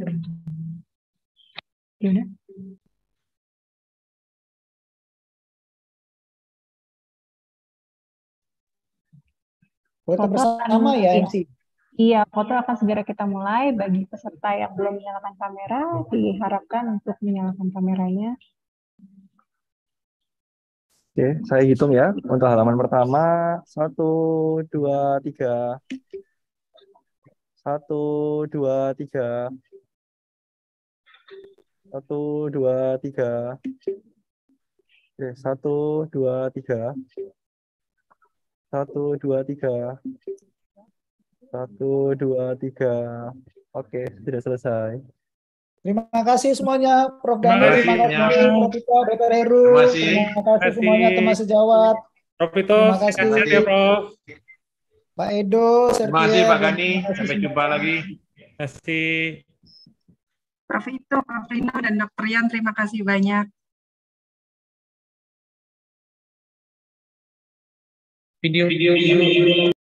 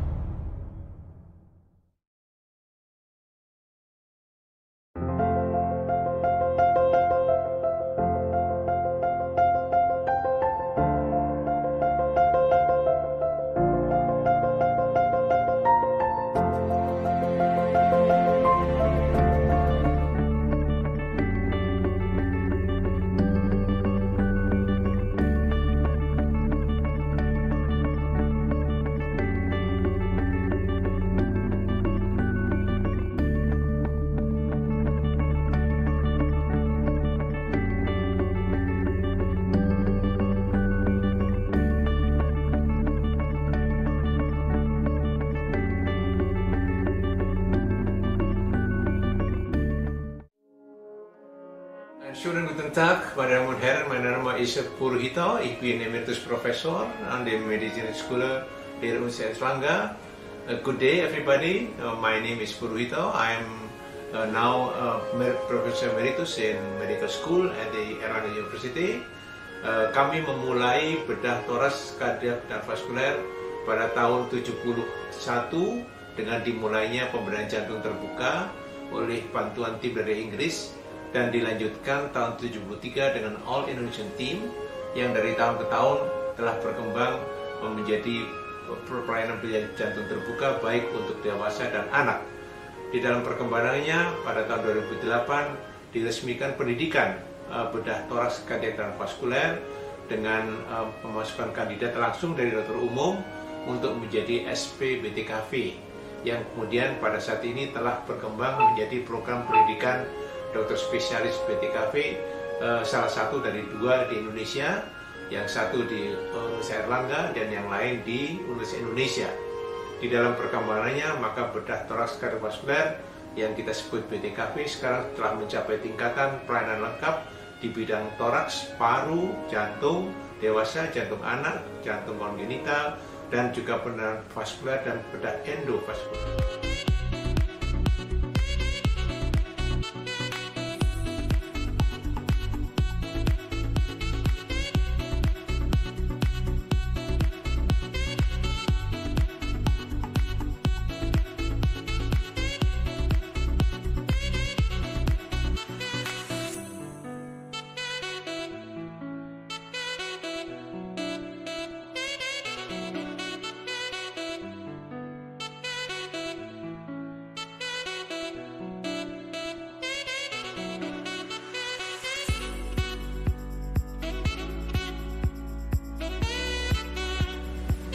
Saya Dr. Ian Efrata Sebiring, spesialis bedah, spesialis bedah torak, kardiak vaskular, konsultan, selaku koordinator program studi bedah torak, kardiak, dan vaskular Fakultas Kedokteran Universitas Erlangga.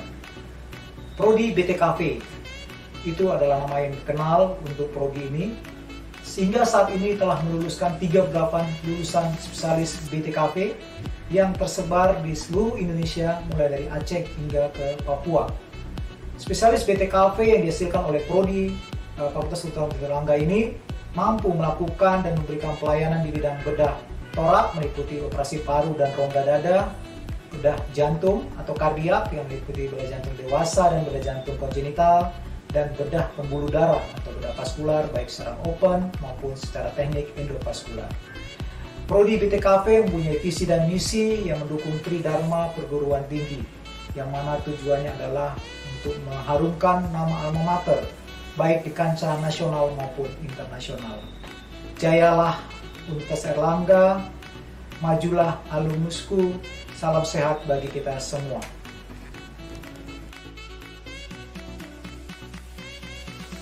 bahwa setiap perguruan tinggi dituntut untuk menetapkan diferensiasi misi yang mana terfokus dalam melaksanakan Tridharma perguruan tinggi untuk menuju Center of Excellence. Hal tersebut dilakukan agar diferensiasi misi tersebut akan terdistribusi kepada setiap fakultas, program studi, dan para dosen. Sinergi antara dosen dan mahasiswa pada akhirnya harus menopang kebijakan kampus dalam menentukan misi diferensiasi perguruan tinggi. Dapat dikatakan bahwa Indonesia masuk era fleksibilitas peran antara mahasiswa dan dosen. Pada akhirnya saya mengucapkan selamat Dies Natalis Universitas Erlangga yang ke-67.